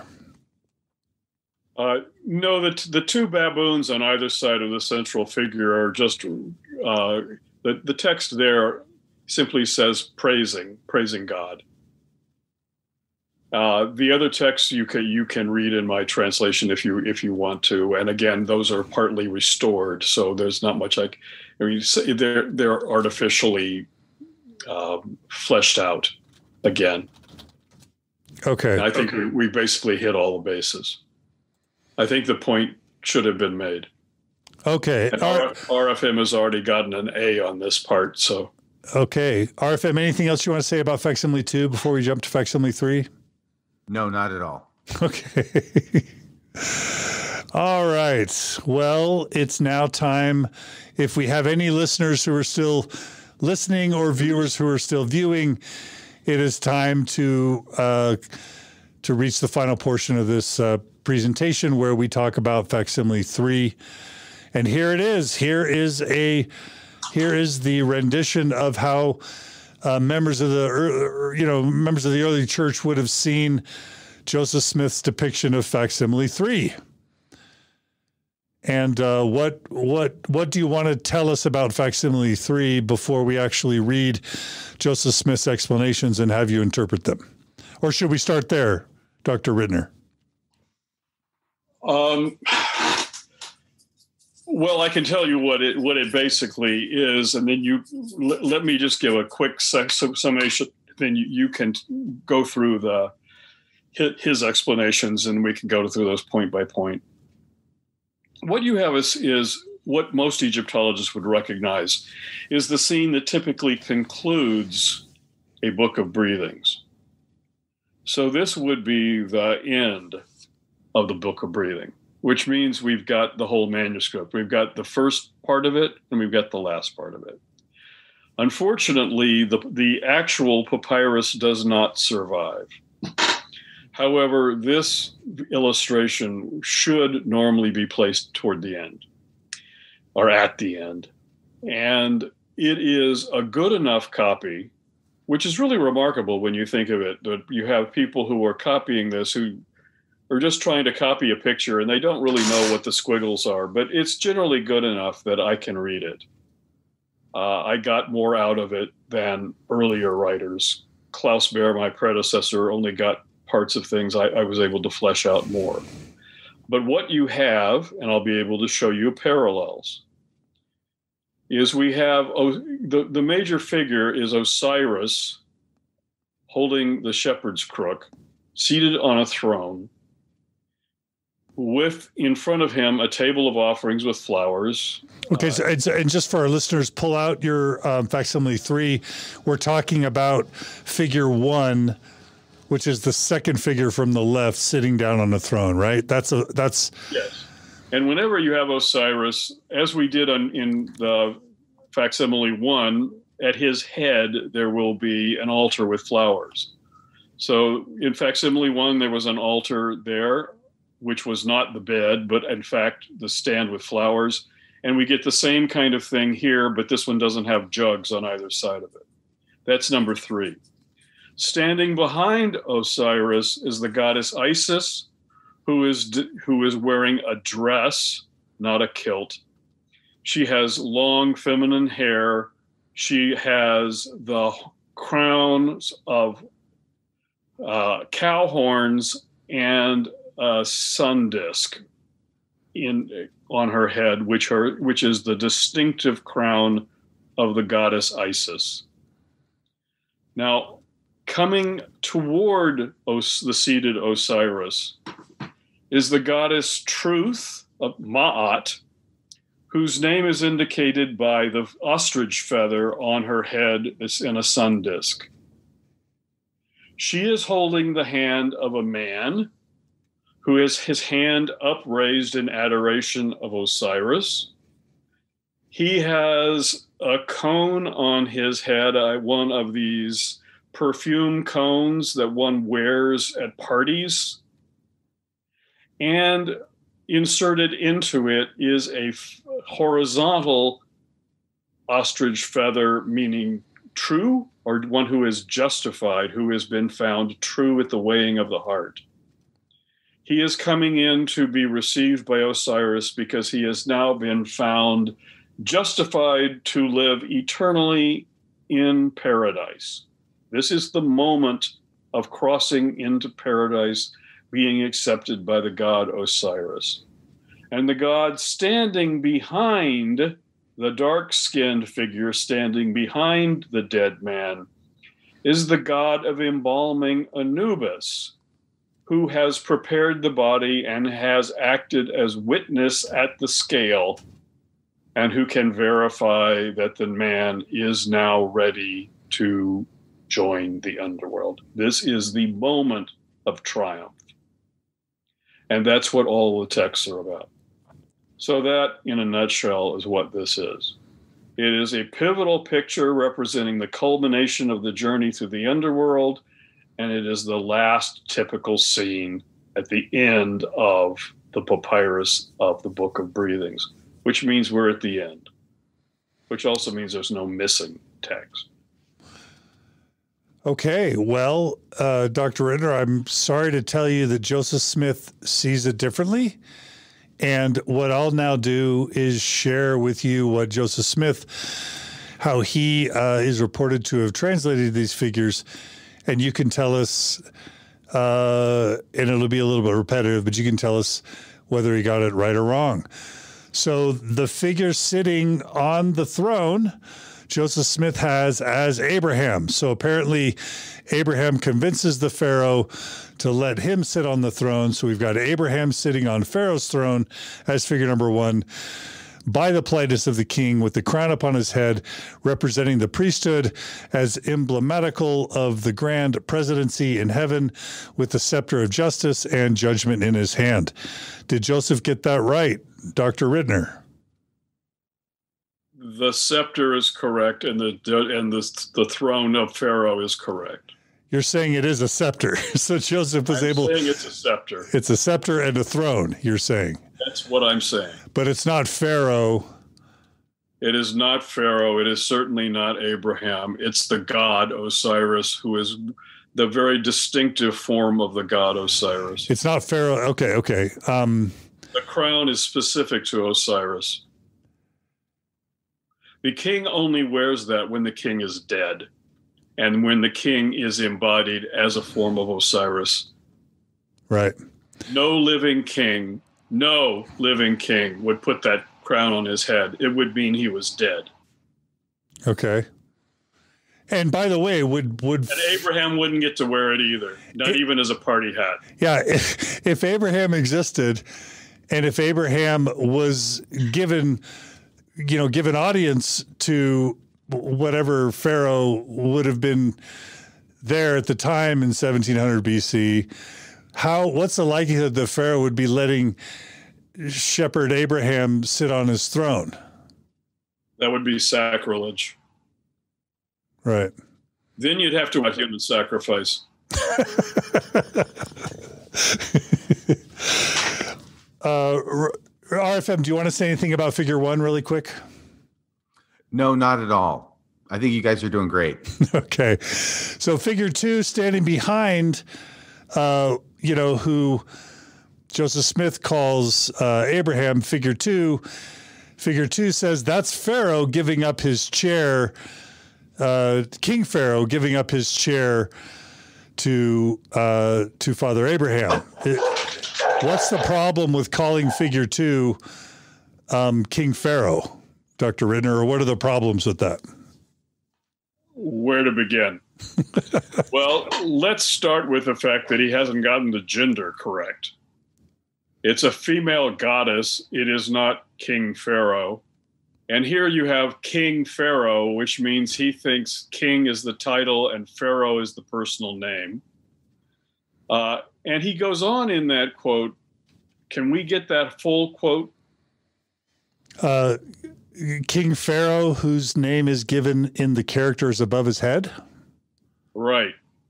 I want to emphasize that because we actually have the surviving text. And I'll be able to, well, we'll be able to see it in just a second. But um,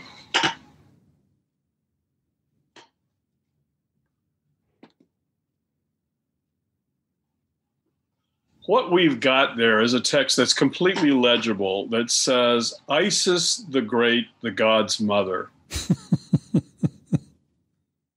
that's reading from top to bottom.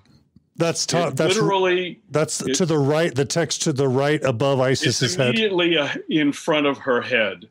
Okay. It's between her and Osiris. Right. So the the the text goes from top to bottom and it says Isis the Great, Mother of the God. The God being referred to, Mother of the God, is a, is this is one of her standard titles that represents Horus, the god who is born when she copulates with Osiris after his death.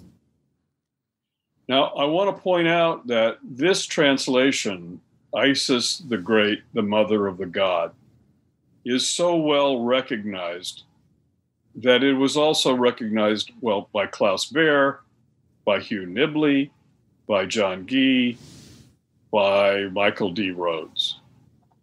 All of them have recognized that this specific text can be read in Egyptian hieroglyphs by the signs above, by her head. It can be read and translated as Isis the Great, Mother of the God. Now, I point that out because in Smith's analysis, he specifically refers to this as a translation, that he's getting this interpretation by these signs, which means he's actually now admitting here he is translating the Egyptian.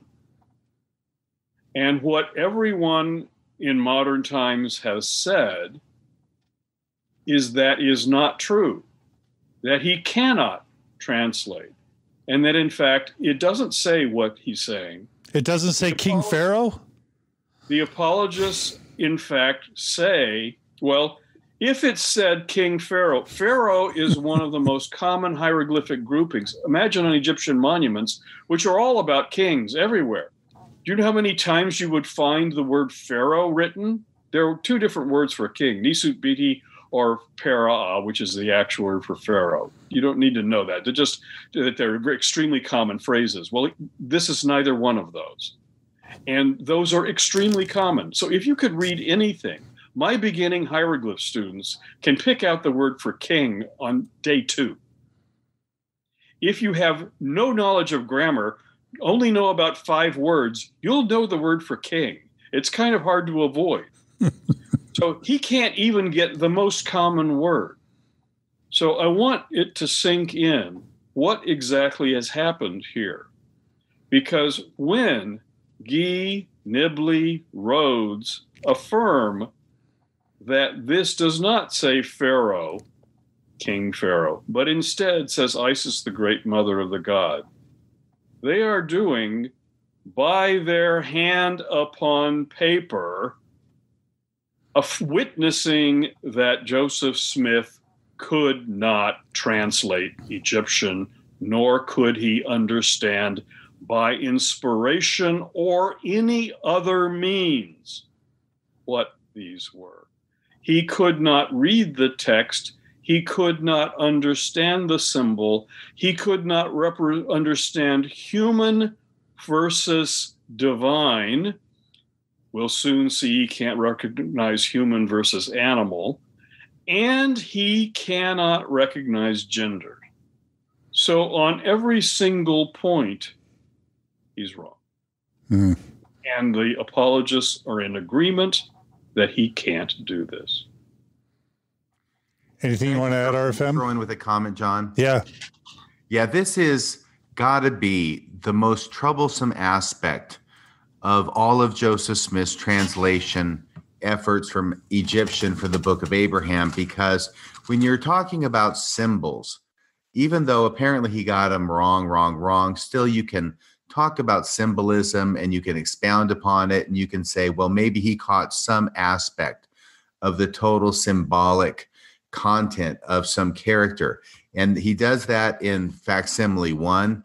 In facsimile two, the only thing he translates are the symbols. And as you noted, John, he specifically leaves alone and does not attempt to translate those parts of facsimile two that are obviously written in Egyptian that are not just drawings of symbolic characters or gods or baboons or whatever you may have. But it's in facsimile three, and this may be the most important part of this podcast, I don't know, where Joseph Smith finally completely commits himself to having interpreted and translated from Egyptian into English specific characters which he identifies in facsimile 3.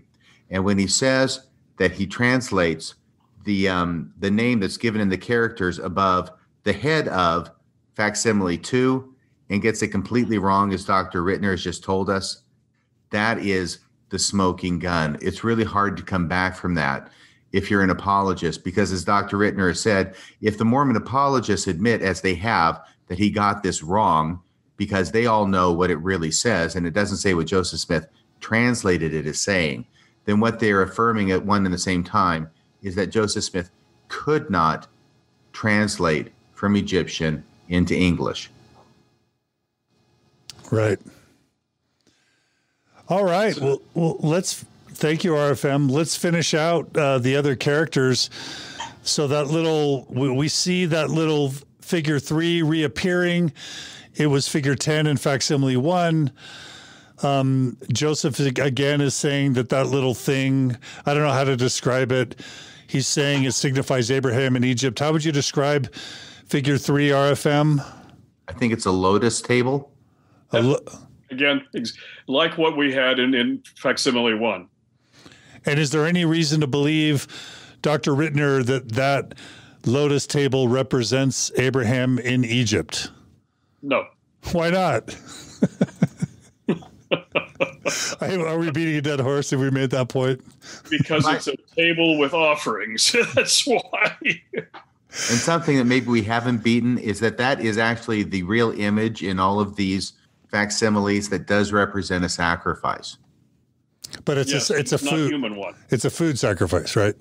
Yes, which is the normal sacrifice, which is what Egyptians do. Got, got it.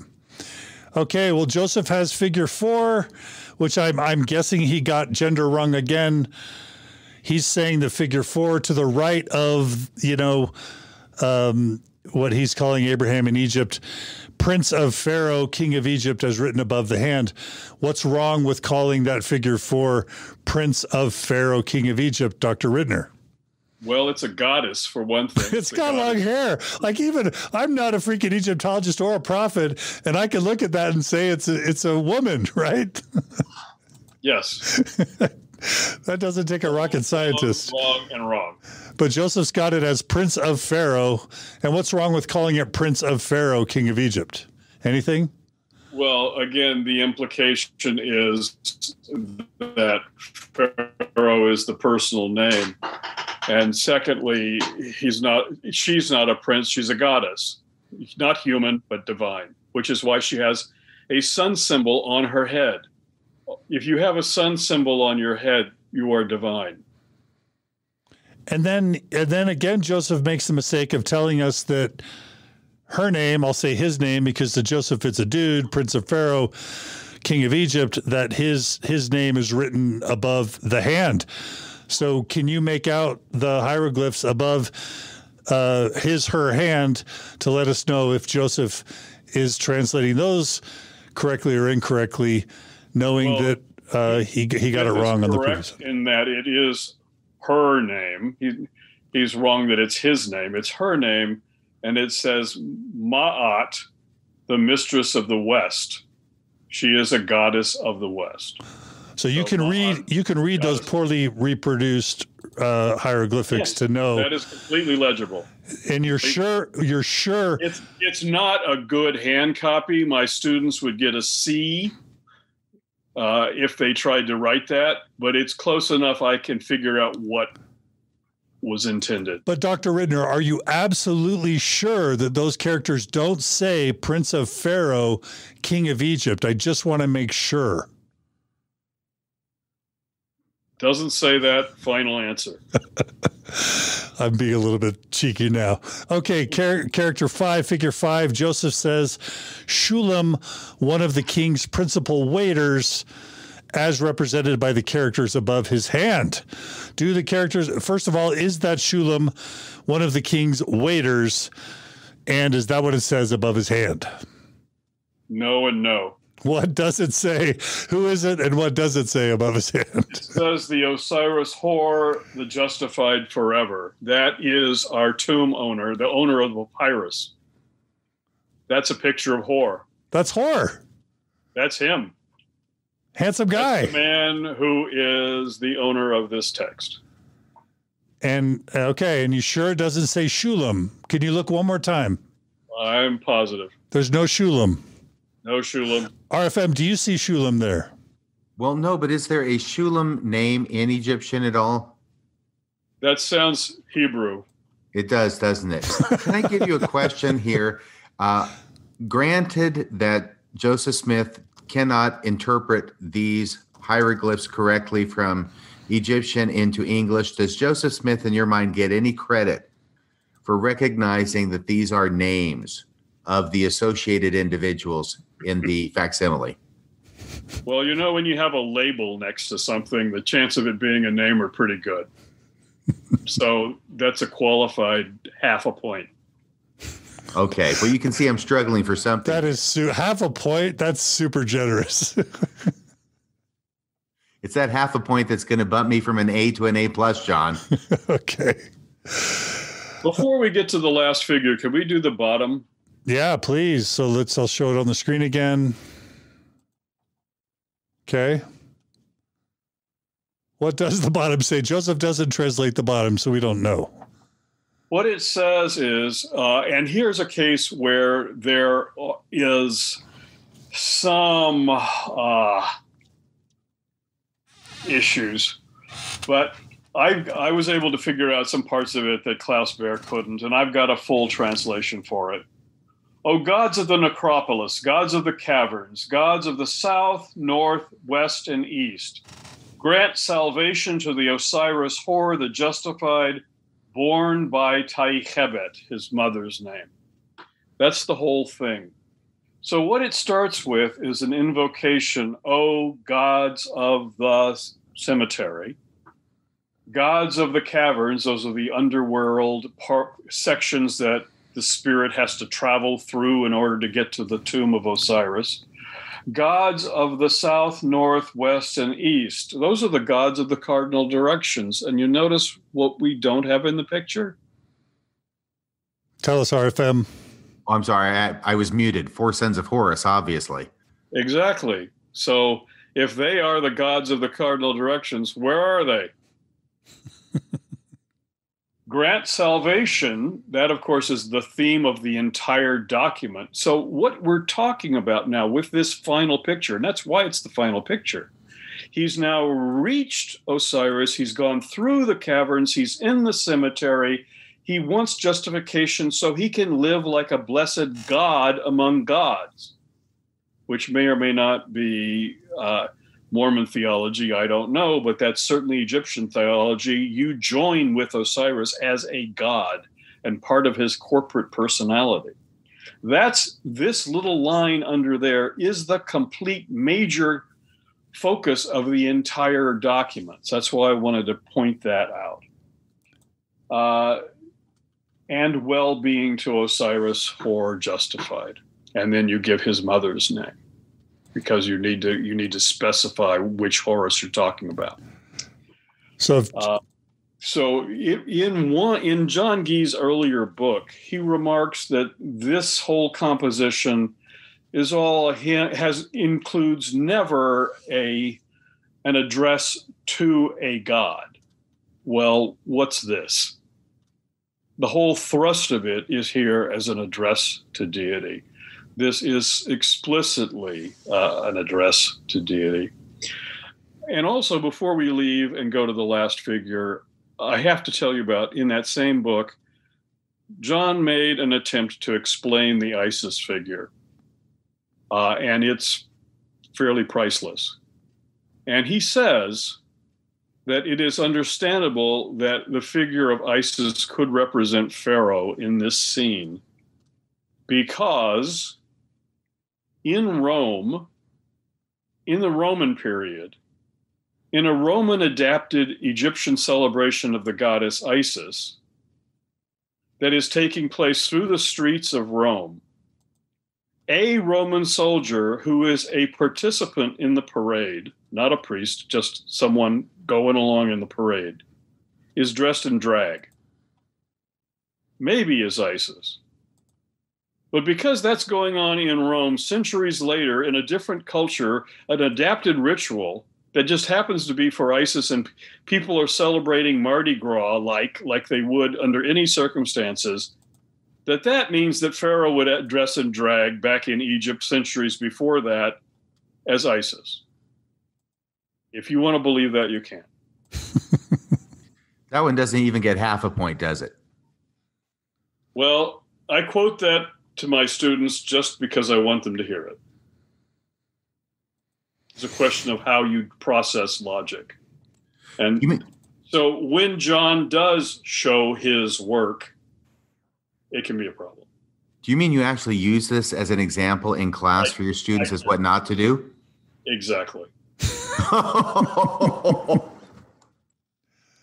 I love it. Well, I, I have received some benefits from the experience. oh, I love Let's it. go to the last figure, shall we? okay. So the last figure, according to Joseph Smith, uh, figure six, this uh, dark character on the far right with some sort of dark horn, Joseph says is Olimlah, a slave belonging to the prince. Um, t- surely, surely that's what those characters uh, to the top left of that of that character say, right, Doctor Ritner? Well, none of that actually. what it actually says is words spoken by Anubis, who makes protection Lord of Heaven, foremost of the Westerners. So is that Anubis again from same from facsimile one? Yes, sadly. It's Anubis reappearing. It is. Well, it's like a new. I'm sorry. I, I think it's like Anubis uh, finishing his job with Hor, well, who in facsimile. So what we see at the beginning is the embalming process, and at the end, he is conducting the now glorified spirit who has been embalmed, who has had the weighing of the heart, and whose spiritual form now, not the physical form, but whose spiritual form is being brought in to be received in heaven with Osiris. Now, the striking thing about all of that, and let's keep that picture up, we can we can deconstruct the analysis that um, Smith did in order to make that interpretation. All right. First of all, notice that we have a goodly amount of text. So if he's trying to squeeze things in, there's three columns. The columns go from left to right, and they start behind the head of Hor, behind his the back of his head. They go toward the face of Anubis.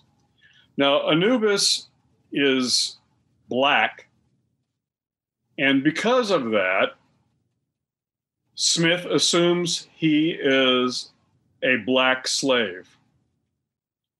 His interpretation of slave is based entirely on the color that the figure is depicted. It's he's racially profiling. he does not recognize that he ha- that the the head is actually a jackal's head and part of the weird thing sticking up from his head is actually one of his ears, one of his erect jackal ears. Now, to prove my point, let's go to the next slide.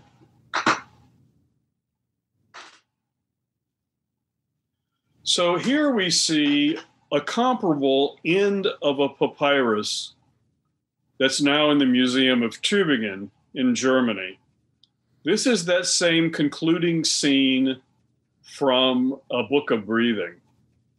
And here we can see the left hand side, we have the goddess Isis with the very same titles that she has in the Joseph Smith hand copy. Uh, you'll notice that I did not say that she was Pharaoh King Pharaoh. In front of her is Osiris, foremost of the Westerners, uh, with his appropriate title. Then here we have elaborately an altar with all sorts of food things that are stacked up defying gravity.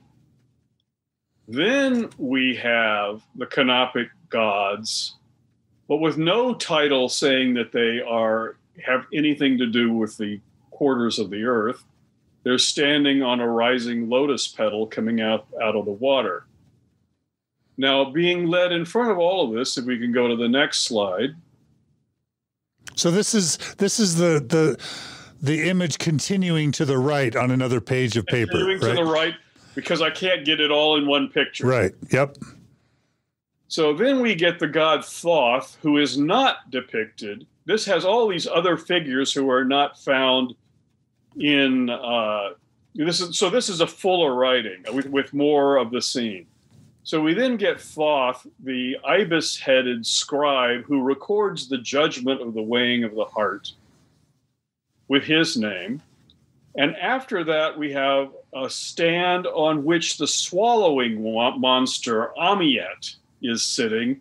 She's part lion, part crocodile, and she it, her purpose is to devour the soul of any deceased who fails the weighing of the heart. If your heart does not perfectly balance the feather of truth, the goddess Ma'at, and Ma'at feather is present here sitting on her head, the two feathers. If, if the heart doesn't balance those feathers, this monster swallows the heart and you cease to exist, your personality is destroyed. You have no afterlife. You are completely exterminated from all existence now and in the future, and you reach Buddhist nirvana, which for Egyptians would be absolute hell. Buddhism is the worst possible ima- imaginative religion for the Egyptians because the point of Buddhism is to lose all trace of your personality and your identity because life is suffering. For the Egyptians, life is beautiful. You want to take it in every way except suffering into the next world, which is why you bring all your accoutrements with you, why you why you want your family with you, etc. Is like Egyptian is life affirming religion, not like Buddhism, which is life damning. Consequently, the loss of personality is the one thing the Egyptians fear. It's the one thing Buddhism wants. Here is an example of just how contrasting things can be. By the way, in a popular book on Egyptian mythology, I inserted that, and my British editors struck it out for fear of insulting a Buddhist audience. So, mm. you know, censorship is rampant everywhere, even 30 years ago in England. I hmm. couldn't even speak the truth about the nature of how an Egyptian would view Buddhism. Mm. This is not to slander Buddhism, it's to tell you what the Egyptian point of view would be and how radically different they are. Right. So, uh, again, adding to my reputation for bashing religions. Um, and then we get Anubis clearly shown with his dark skin, and he is conducting the tomb owner here into Osiris. So here again, Anubis is acting as the guide, holding the hand and bringing them in. The order of them is reversed here from the other, but you'll notice we have mostly the same cast of characters. And you'll notice this is also what you get to, to cap off the, the scene. So then we let's look at the text. Now, the problem with this particular text, a problem, you know, now requires me to discuss something very unpleasant. It's something that I have pointed out specifically in my book and was even included in the press release of my book by Scholars Press.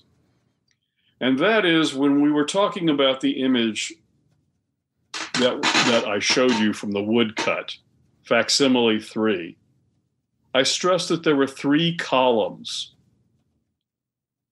in front of Anubis's head. Here we have the description of the hieroglyphs as produced by Michael D. Rhodes in his competing book, which came out after my own translation first appeared in Dialogue, the Journal of Mormon Thought, where I read all of this. And by the way, you can see there he has to the right of Isis, for those of you who can see, uh, the scry, the scene, and it specifically has Isis, the great mother of the god, in hieroglyphs. So he agrees with me as to how this works.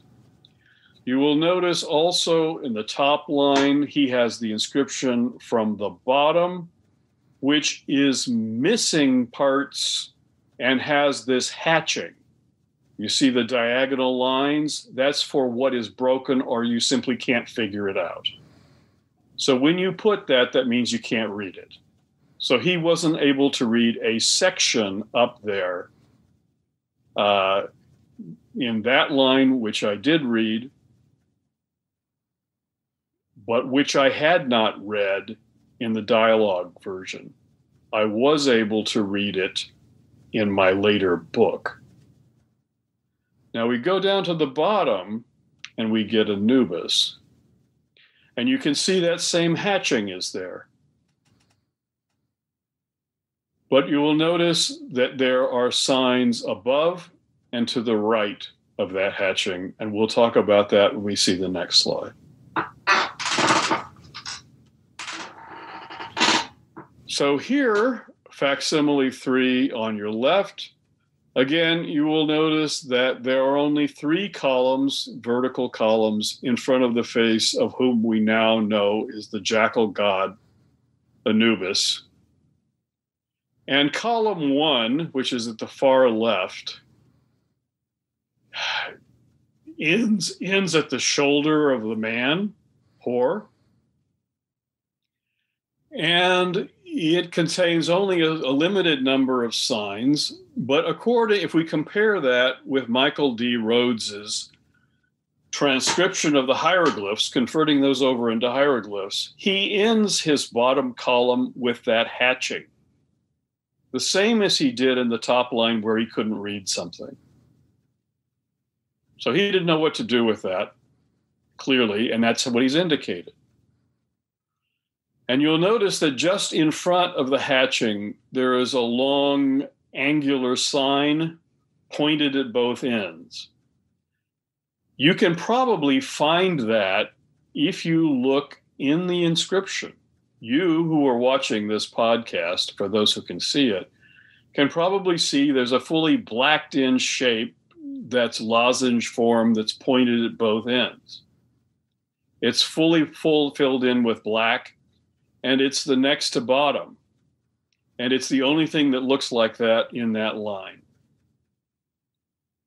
You will notice that there's no other example of something that's long and pointy like that in that line.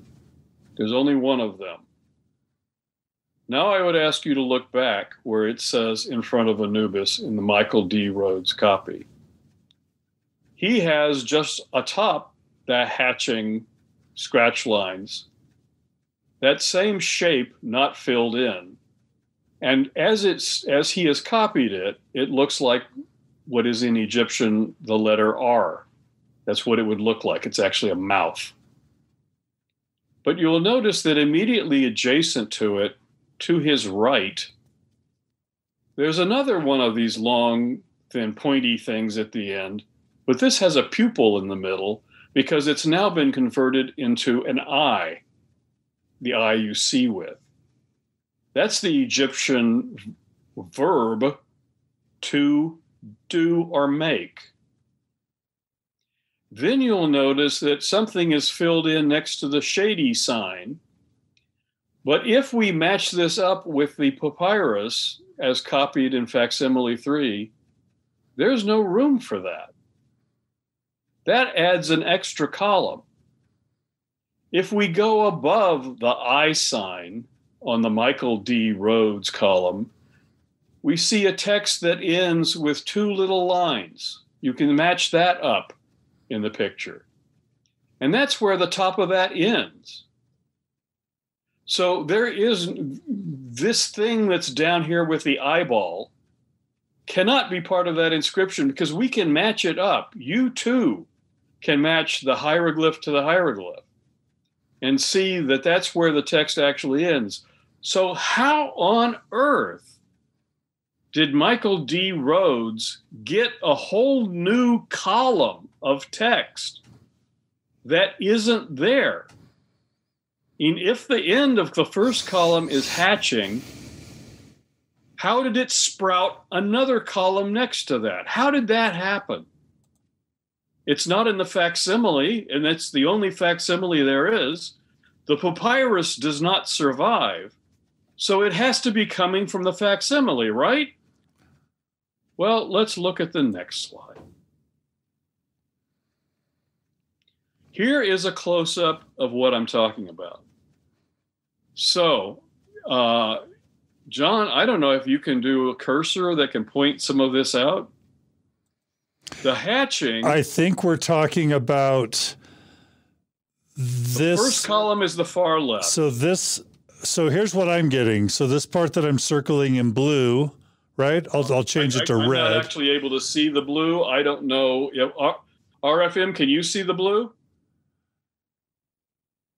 Can you guys Yes, see actually, what I I'm? can, and he just circled it with red too. So I'm circling it with red. This portion right here. Oh, oh, oh I'm sorry. I, I, I was I meant to circle the facsimile.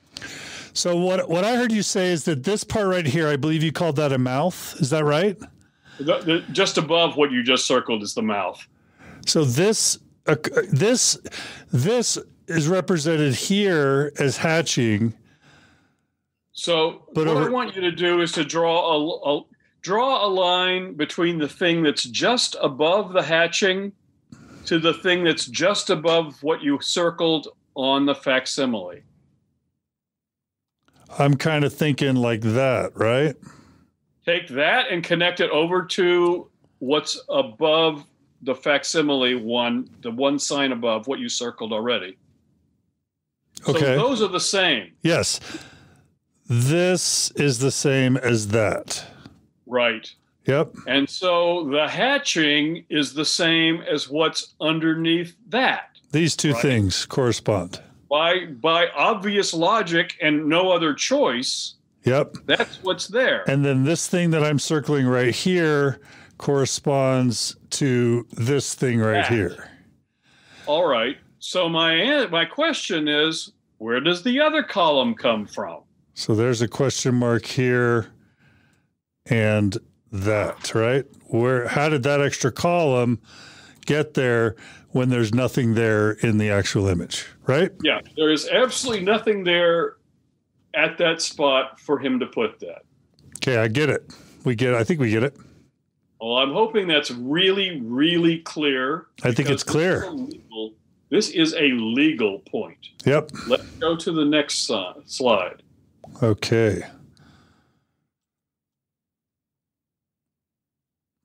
Oops. it looks like oh, the- that's it. Let, let's let. Oh, oh, I see. Is that now permanently on the screen? Okay, now it should be it should be back now. Okay, here we go.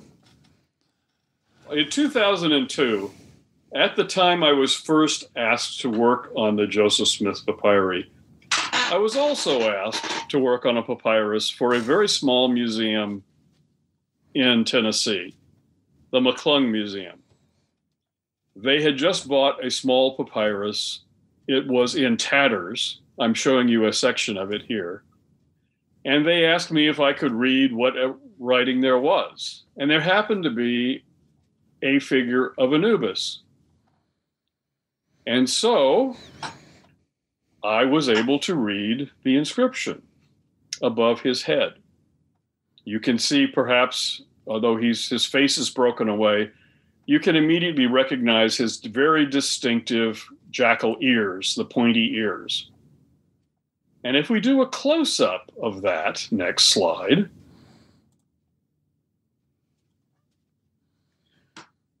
Here we have, there's the general scene on the left. And what he's doing is he is conducting the tomb owner, who's shown in the right. This is the far left image.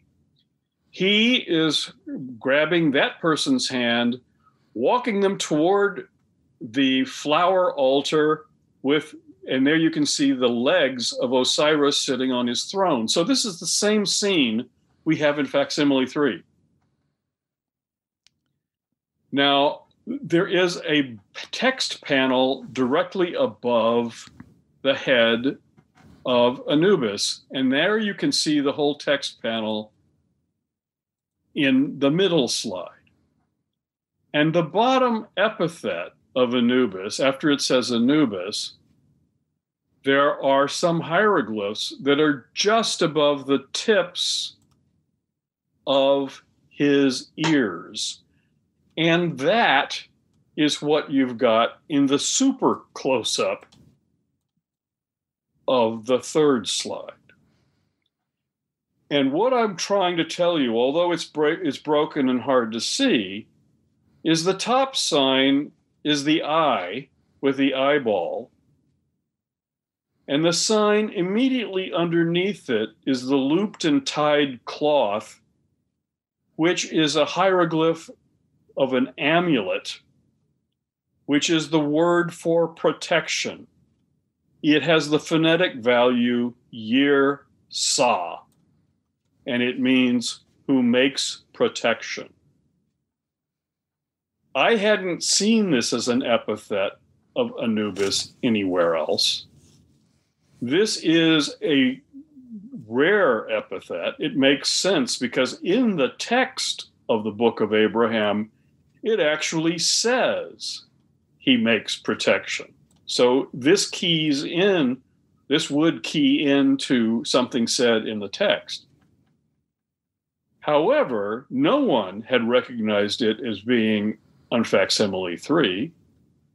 It only occurred to me because at the same time I was working on the one papyrus, I was also working on the other. No one has seen this McClung papyrus. It's a small papyrus in a small museum that had not been published until I published it, until I provided the information actually for Elaine Evans, the curator, to publish it in their local uh, a one sheet takeaway piece handed out in the museum. So basically, none of my colleagues have ever seen this. No one could have seen this inscription on this papyrus, which is not common. There is no way you would come up with this reading or know about it without having seen this text, which, as I've said, no one has seen. So let's go to the next slide. Or back to the last slide. So, what we've got in my book, I translated that sign, the blacked in sign before the hatching and Rhodes's, as Year Saw, who made protection. That's the my reading in my publication and never done by anyone else previously. In Michael D. Rhodes's book, his English translation suddenly has my translation, who makes protection. However, his hand copy where he reproduces it in the plate, as you've seen in there on the right, has not the I sign and the tied loop for the saying make protection, which he translates, but it has an R over hatching, which is what Nibley had and what he had copied and what he clearly had sent to the printer before he saw my manuscript after the book was after the article was out and then rushed to make a correction and when the press did so they failed to remove the old reading which was from Nibley and they failed to put my new one which they were taking and they failed to put it on top of that Instead, they mistakenly put it side by side. So they stole it and then didn't cover their tracks. They put it side by side rather than replacing it. And what makes it particularly irritating is not only have they taken my reading, which was pointed out by me in my book, but they have never even acknowledged the existence of my article and my book anywhere in the Rhodes or subsequent publications of these texts. They have completely pretended I did not exist so that they could say they did this independently and pretending that Mr. Rhodes's book came out at the same time as my dialogue and later JNES article. And that, that's not true. Dialogue article was out before. And it was circulating in copy from dialogue uh, and by RR, IRR uh, well before that. So this is a clear case of poorly done plagiarism. And there are other cases like that, which I have pointed out in the notes in my book. Yeah, what I would say is it's one thing to never mention you, even though that doesn't seem to be, to be very professional or scholarly. It's one thing to never mention you, Dr. Ritner. It's another thing to steal your original research and still never mention you and to get it wrong. well, and, and, to do such a clumsy job of theft. Yeah. I mean, it is a clumsy job of theft, and I seriously consider getting a lawyer. But I'm the, the bigger the bigger picture here is what they did is they clearly acknowledged that I'm right, or they wouldn't have taken it. And they're also acknowledging at the same time that Smith couldn't read it. Because if he could, then they'd be having hieroglyphs that actually said what Smith's label said. And by doing what they did, they have basically confirmed, as I said, by their own hands upon paper, that this is not a, a translation and the whole book of Abraham is a forgery. So it's kind of like the last chance that they might have had to say that Joseph Smith could have been right was by saying that this part of the name can't be written and leave it as uh, those scratches, those scratch marks, right? Exactly. But, but then when they look at what you wrote, they rob it from you, they put it in there in place of it. What they are acknowledging now, without acknowledging you, they're acknowledging the fact that you can read all of the glyphs from top to bottom and that Joseph Smith's translation of them doesn't appear anywhere in them. Correct. There are other cases that I have documented specifically within my book. Um, I could even, if necessary, cite chapter and verse, but there are places where they fail to recognize in the uh, first papyrus in the book of breathing. There are sections where they followed hugh nibley where hugh nibley didn't know what to do and rhodes simply followed that. Then he saw my reading where i had reinterpreted from demotic which is something that rhodes can't do. And they adapted what I had in the body of Rhodes's book, but they forgot. But Rhodes also included an index of all the words, and they forgot to change it in the index. So for that for that passage in the index, it still gives Nibley's reading, but and an explanation by Nibley and then you go to the actual page where it's translated, and suddenly there's my reading. No footnote, no explanation. Why is it that the reading he gives in his translation doesn't match his own index where he discusses the word? and the word in the index comes from the source that he could crib from that was out that had been out for a generation and the one that's from me had just happened, and he had a limited amount of time to get it into the book and apparently couldn't do it well. So there are multiple cases of really sloppy work as a plagiarist, not to mention sloppy work as a scholar.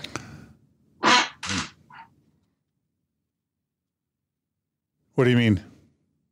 uh, in terms of that as a scholar and, and legal matters that, this is simply inexcusable he owes me an, a, fo- a footnote and an apology so as i'm understanding you this last example he would have originally had it uh, in the body of his work he would have had the hugh nibley uh, translation which would of course connected with the hugh nibley footnote correct correct And then he your your piece came out. He changed the body of the paper to match your translation, but he forgot to change the footnote, which still went to Nibley, which had the different translation. And the and the index in the back where he actually cites all the words. So th- so this passage is in the index, but under Nibley's reading. Have you ever seen the movie Poltergeist? Yes. You move the headstones, but you left the bodies. Yeah, right. But the, isn't that, in a nutshell, the approach taken by the apologists? You go for one little point and you don't sweat the details. Exactly. Exactly. And isn't it fitting that Mormon apologists would plagiarize when doing defense of a plagiarist, which which we know Joseph was? Okay, I, I uh, just just to close up, if we go back, this is so great, Dr. Ritner. Thank you for helping us understand the quality of the work of these apo- uh, apologists, these Book of Abraham apologists. Um, I'm still disgusted by the fact that Joseph Smith sees a dark figure and just assumes it's a slave.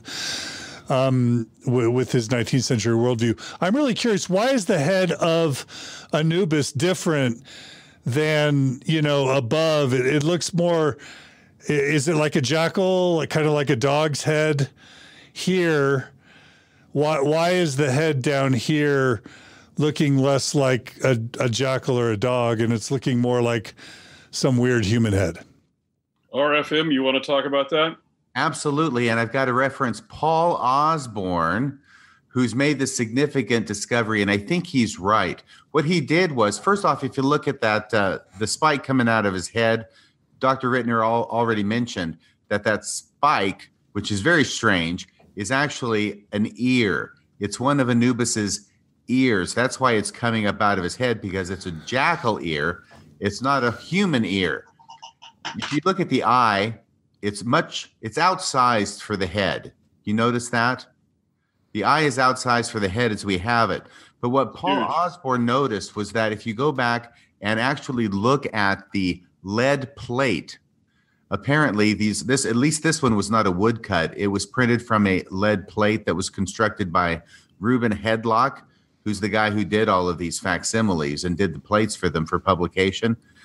Originally, in the lead plate, there is a jackal's snout on figure six. It goes out quite a ways and then comes back, of course, underneath, and you can actually see the teeth in the snout. Now, you can't see it here in this reproduction, of course, but in the okay, what this is basically showing is that it was originally a jackal and that Reuben Hedlock did the lead plate based upon figure six with a jackal head.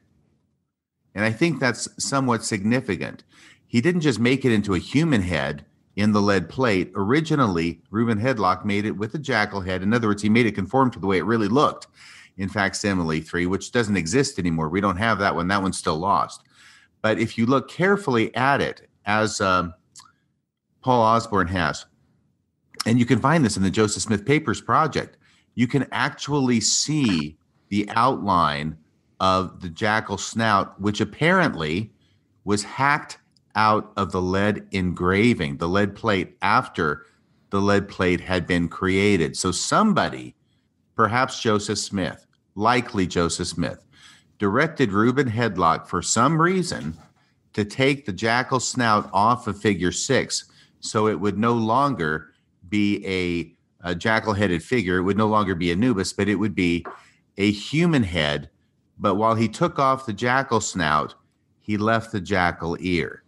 No, when you go back to figure three, uh, I mean, fig- facsimile three, uh, there's a speculation, which I think Paul Osborne did, but it's only speculation. It can only be speculation. Between facsimile one and facsimile three and all the other facsimiles, there's only two black ones. Right. Right. Right. Yes. And in facsimile one, it's the priest of Elkenah, which had the head gone and which was substituted with a human head, right? And so now all of a sudden they get to facsimile three. They got another black person, which is a lot like the priest of Elkenah in facsimile one, except he's got a jackal head. Right. So that might have been seen as counterintuitive yeah. to Joseph Smith. Why do I have why did I put a human head on the black figure In facsimile one, I've got a jackal head here. Well, I'll change the jackal head here after the lead plate is created, by the way. I'll change it here and I'll make this into a human head. Yeah. Really quickly, gentlemen, the last thing I'll just note is as as we read Joseph Smith's description or interpretation of facsimile three, he writes at the bottom, Abraham is reasoning upon the principles of astronomy in the king's court. It's got to be that those little star looking characters on the top, Joseph interpreted those as stars and then sort of then interpreted that Joseph that Abraham is contemplating, you know, the the solar system and the universe and astronomy. Is that fair to say? RFM and well, Dr. The stars actually are stars. That is a representation of heaven. So we got that right. That's the point five. Yep, the five pointed stars are still five pointed stars. I had never even noticed the stars before. I was thinking too much that he just took the well known story out of Josephus where Abraham takes the knowledge of astronomy from Babylon to Egypt. Now, this is this is a regular scene uh, where where you want to indicate the global nature of this scene. You you give a representation of the heavens, just as you have a baseline which represents the baseline of the underworld Earth here. So it's the frame.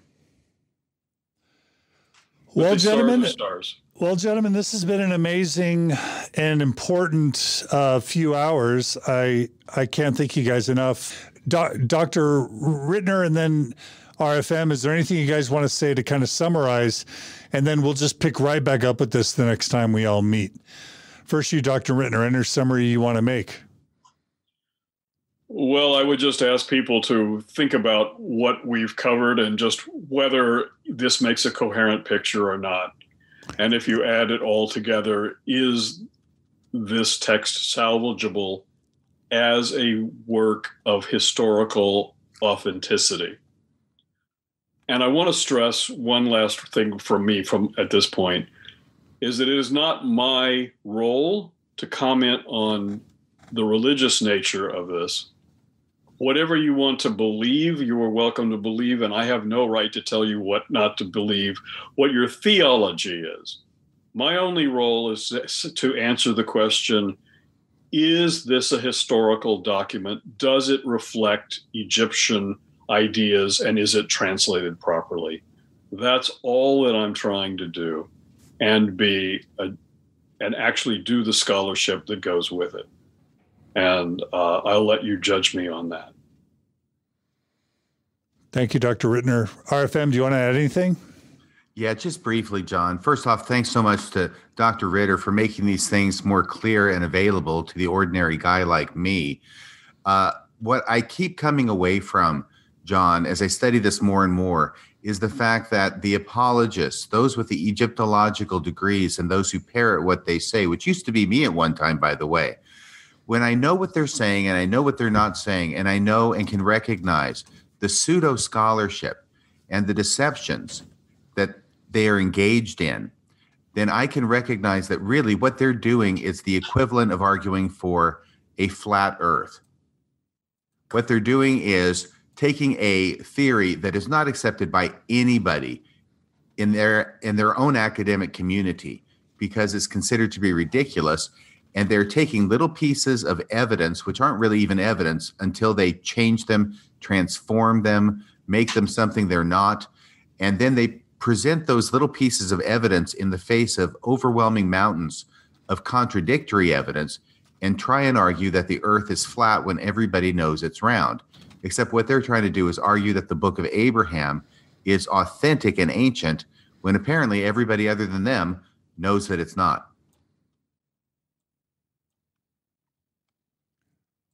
Well said, RFM. Well, that takes us through uh, facsimiles one through three. What we still have to cover, we want to cover the 1912 New York Times article where Egyptologists analyze uh, the three facsimiles and give their opinion. We'll talk about that next time. We still have to talk about the rediscovery of the papyri in you know 1966 ish time period, the emergence uh, of the um, Abraham Egyptian papers. Uh, thanks to the Tanners and others. And then we're going to talk about an analysis of the Abraham, Abraham Egyptian papers um, and more evidence that, you know, that, that Joseph Smith indeed either was attempting to or believed he was uh, attempting to translate or believed he was translating. Um, or at least wanted people to believe he was translating. And we'll do an in depth analysis of uh, the, the Abraham Egyptian papers and how they make it very, very clear, as I believe and many believe is a smoking gun, that in fact, uh, you know, we can't. The, the the view that Joseph Smith was just sort of using the papyrus as inspiration in the catalyst theory to to receive the revelation that that doesn't hold water because in fact uh, we we have documentation that really demonstrates that Joseph was looking at Egyptian characters and then uh, creating or manufacturing text to directly correspond with uh, Egyptian characters that were on the papyrus. Is that is that an okay summary of what's to come? RFM plus a full analysis of a more in-depth analysis of apologetic techniques by Guy Muhlestein. Um, Rhodes and others, including some heroes in this story, which include um, our our dear friend uh, Brian and uh, and maybe some others. Anything you want to add in terms of what's to come, uh, RFM? No, I think that covers it. And for those who don't know, that Brian you're referring to is Brian Hauglid. Brian Hauglid, I spaced for just a second. Shout out to Brian okay. Hauglid, who's kind of a hero in the story, I think. Absolutely. Uh, Dr. Dr. Ritner, is there anything else you want to add for what, what is to come? No, it should be exciting. I'm, I'm looking forward to it. All right. Well, you guys are brilliant. Thanks so much for your time. And uh, and I do want to mention at the end, and I'll I'll add this to the beginning as well, that as always, uh, Dr. Ritner is facing kidney failure and is in need of a living donor to secure his life and continued research. If you can help, please contact Dana McLean. Northwestern Medicine Transplant Coordinator 312 695 0828. Living donors save lives. Let's please use uh, this opportunity to help Dr. Ritner find a kidney donor and to continue his important work. All right, Dr. Ritner, you take care. We'll see you again soon on Mormon Stories and on Radio Free Mormon. RFM, thanks again for joining us and taking your time out. Thank you so much for having me. It's been a great time. All right, we'll see you guys uh, really soon. Bye bye. Take care, guys.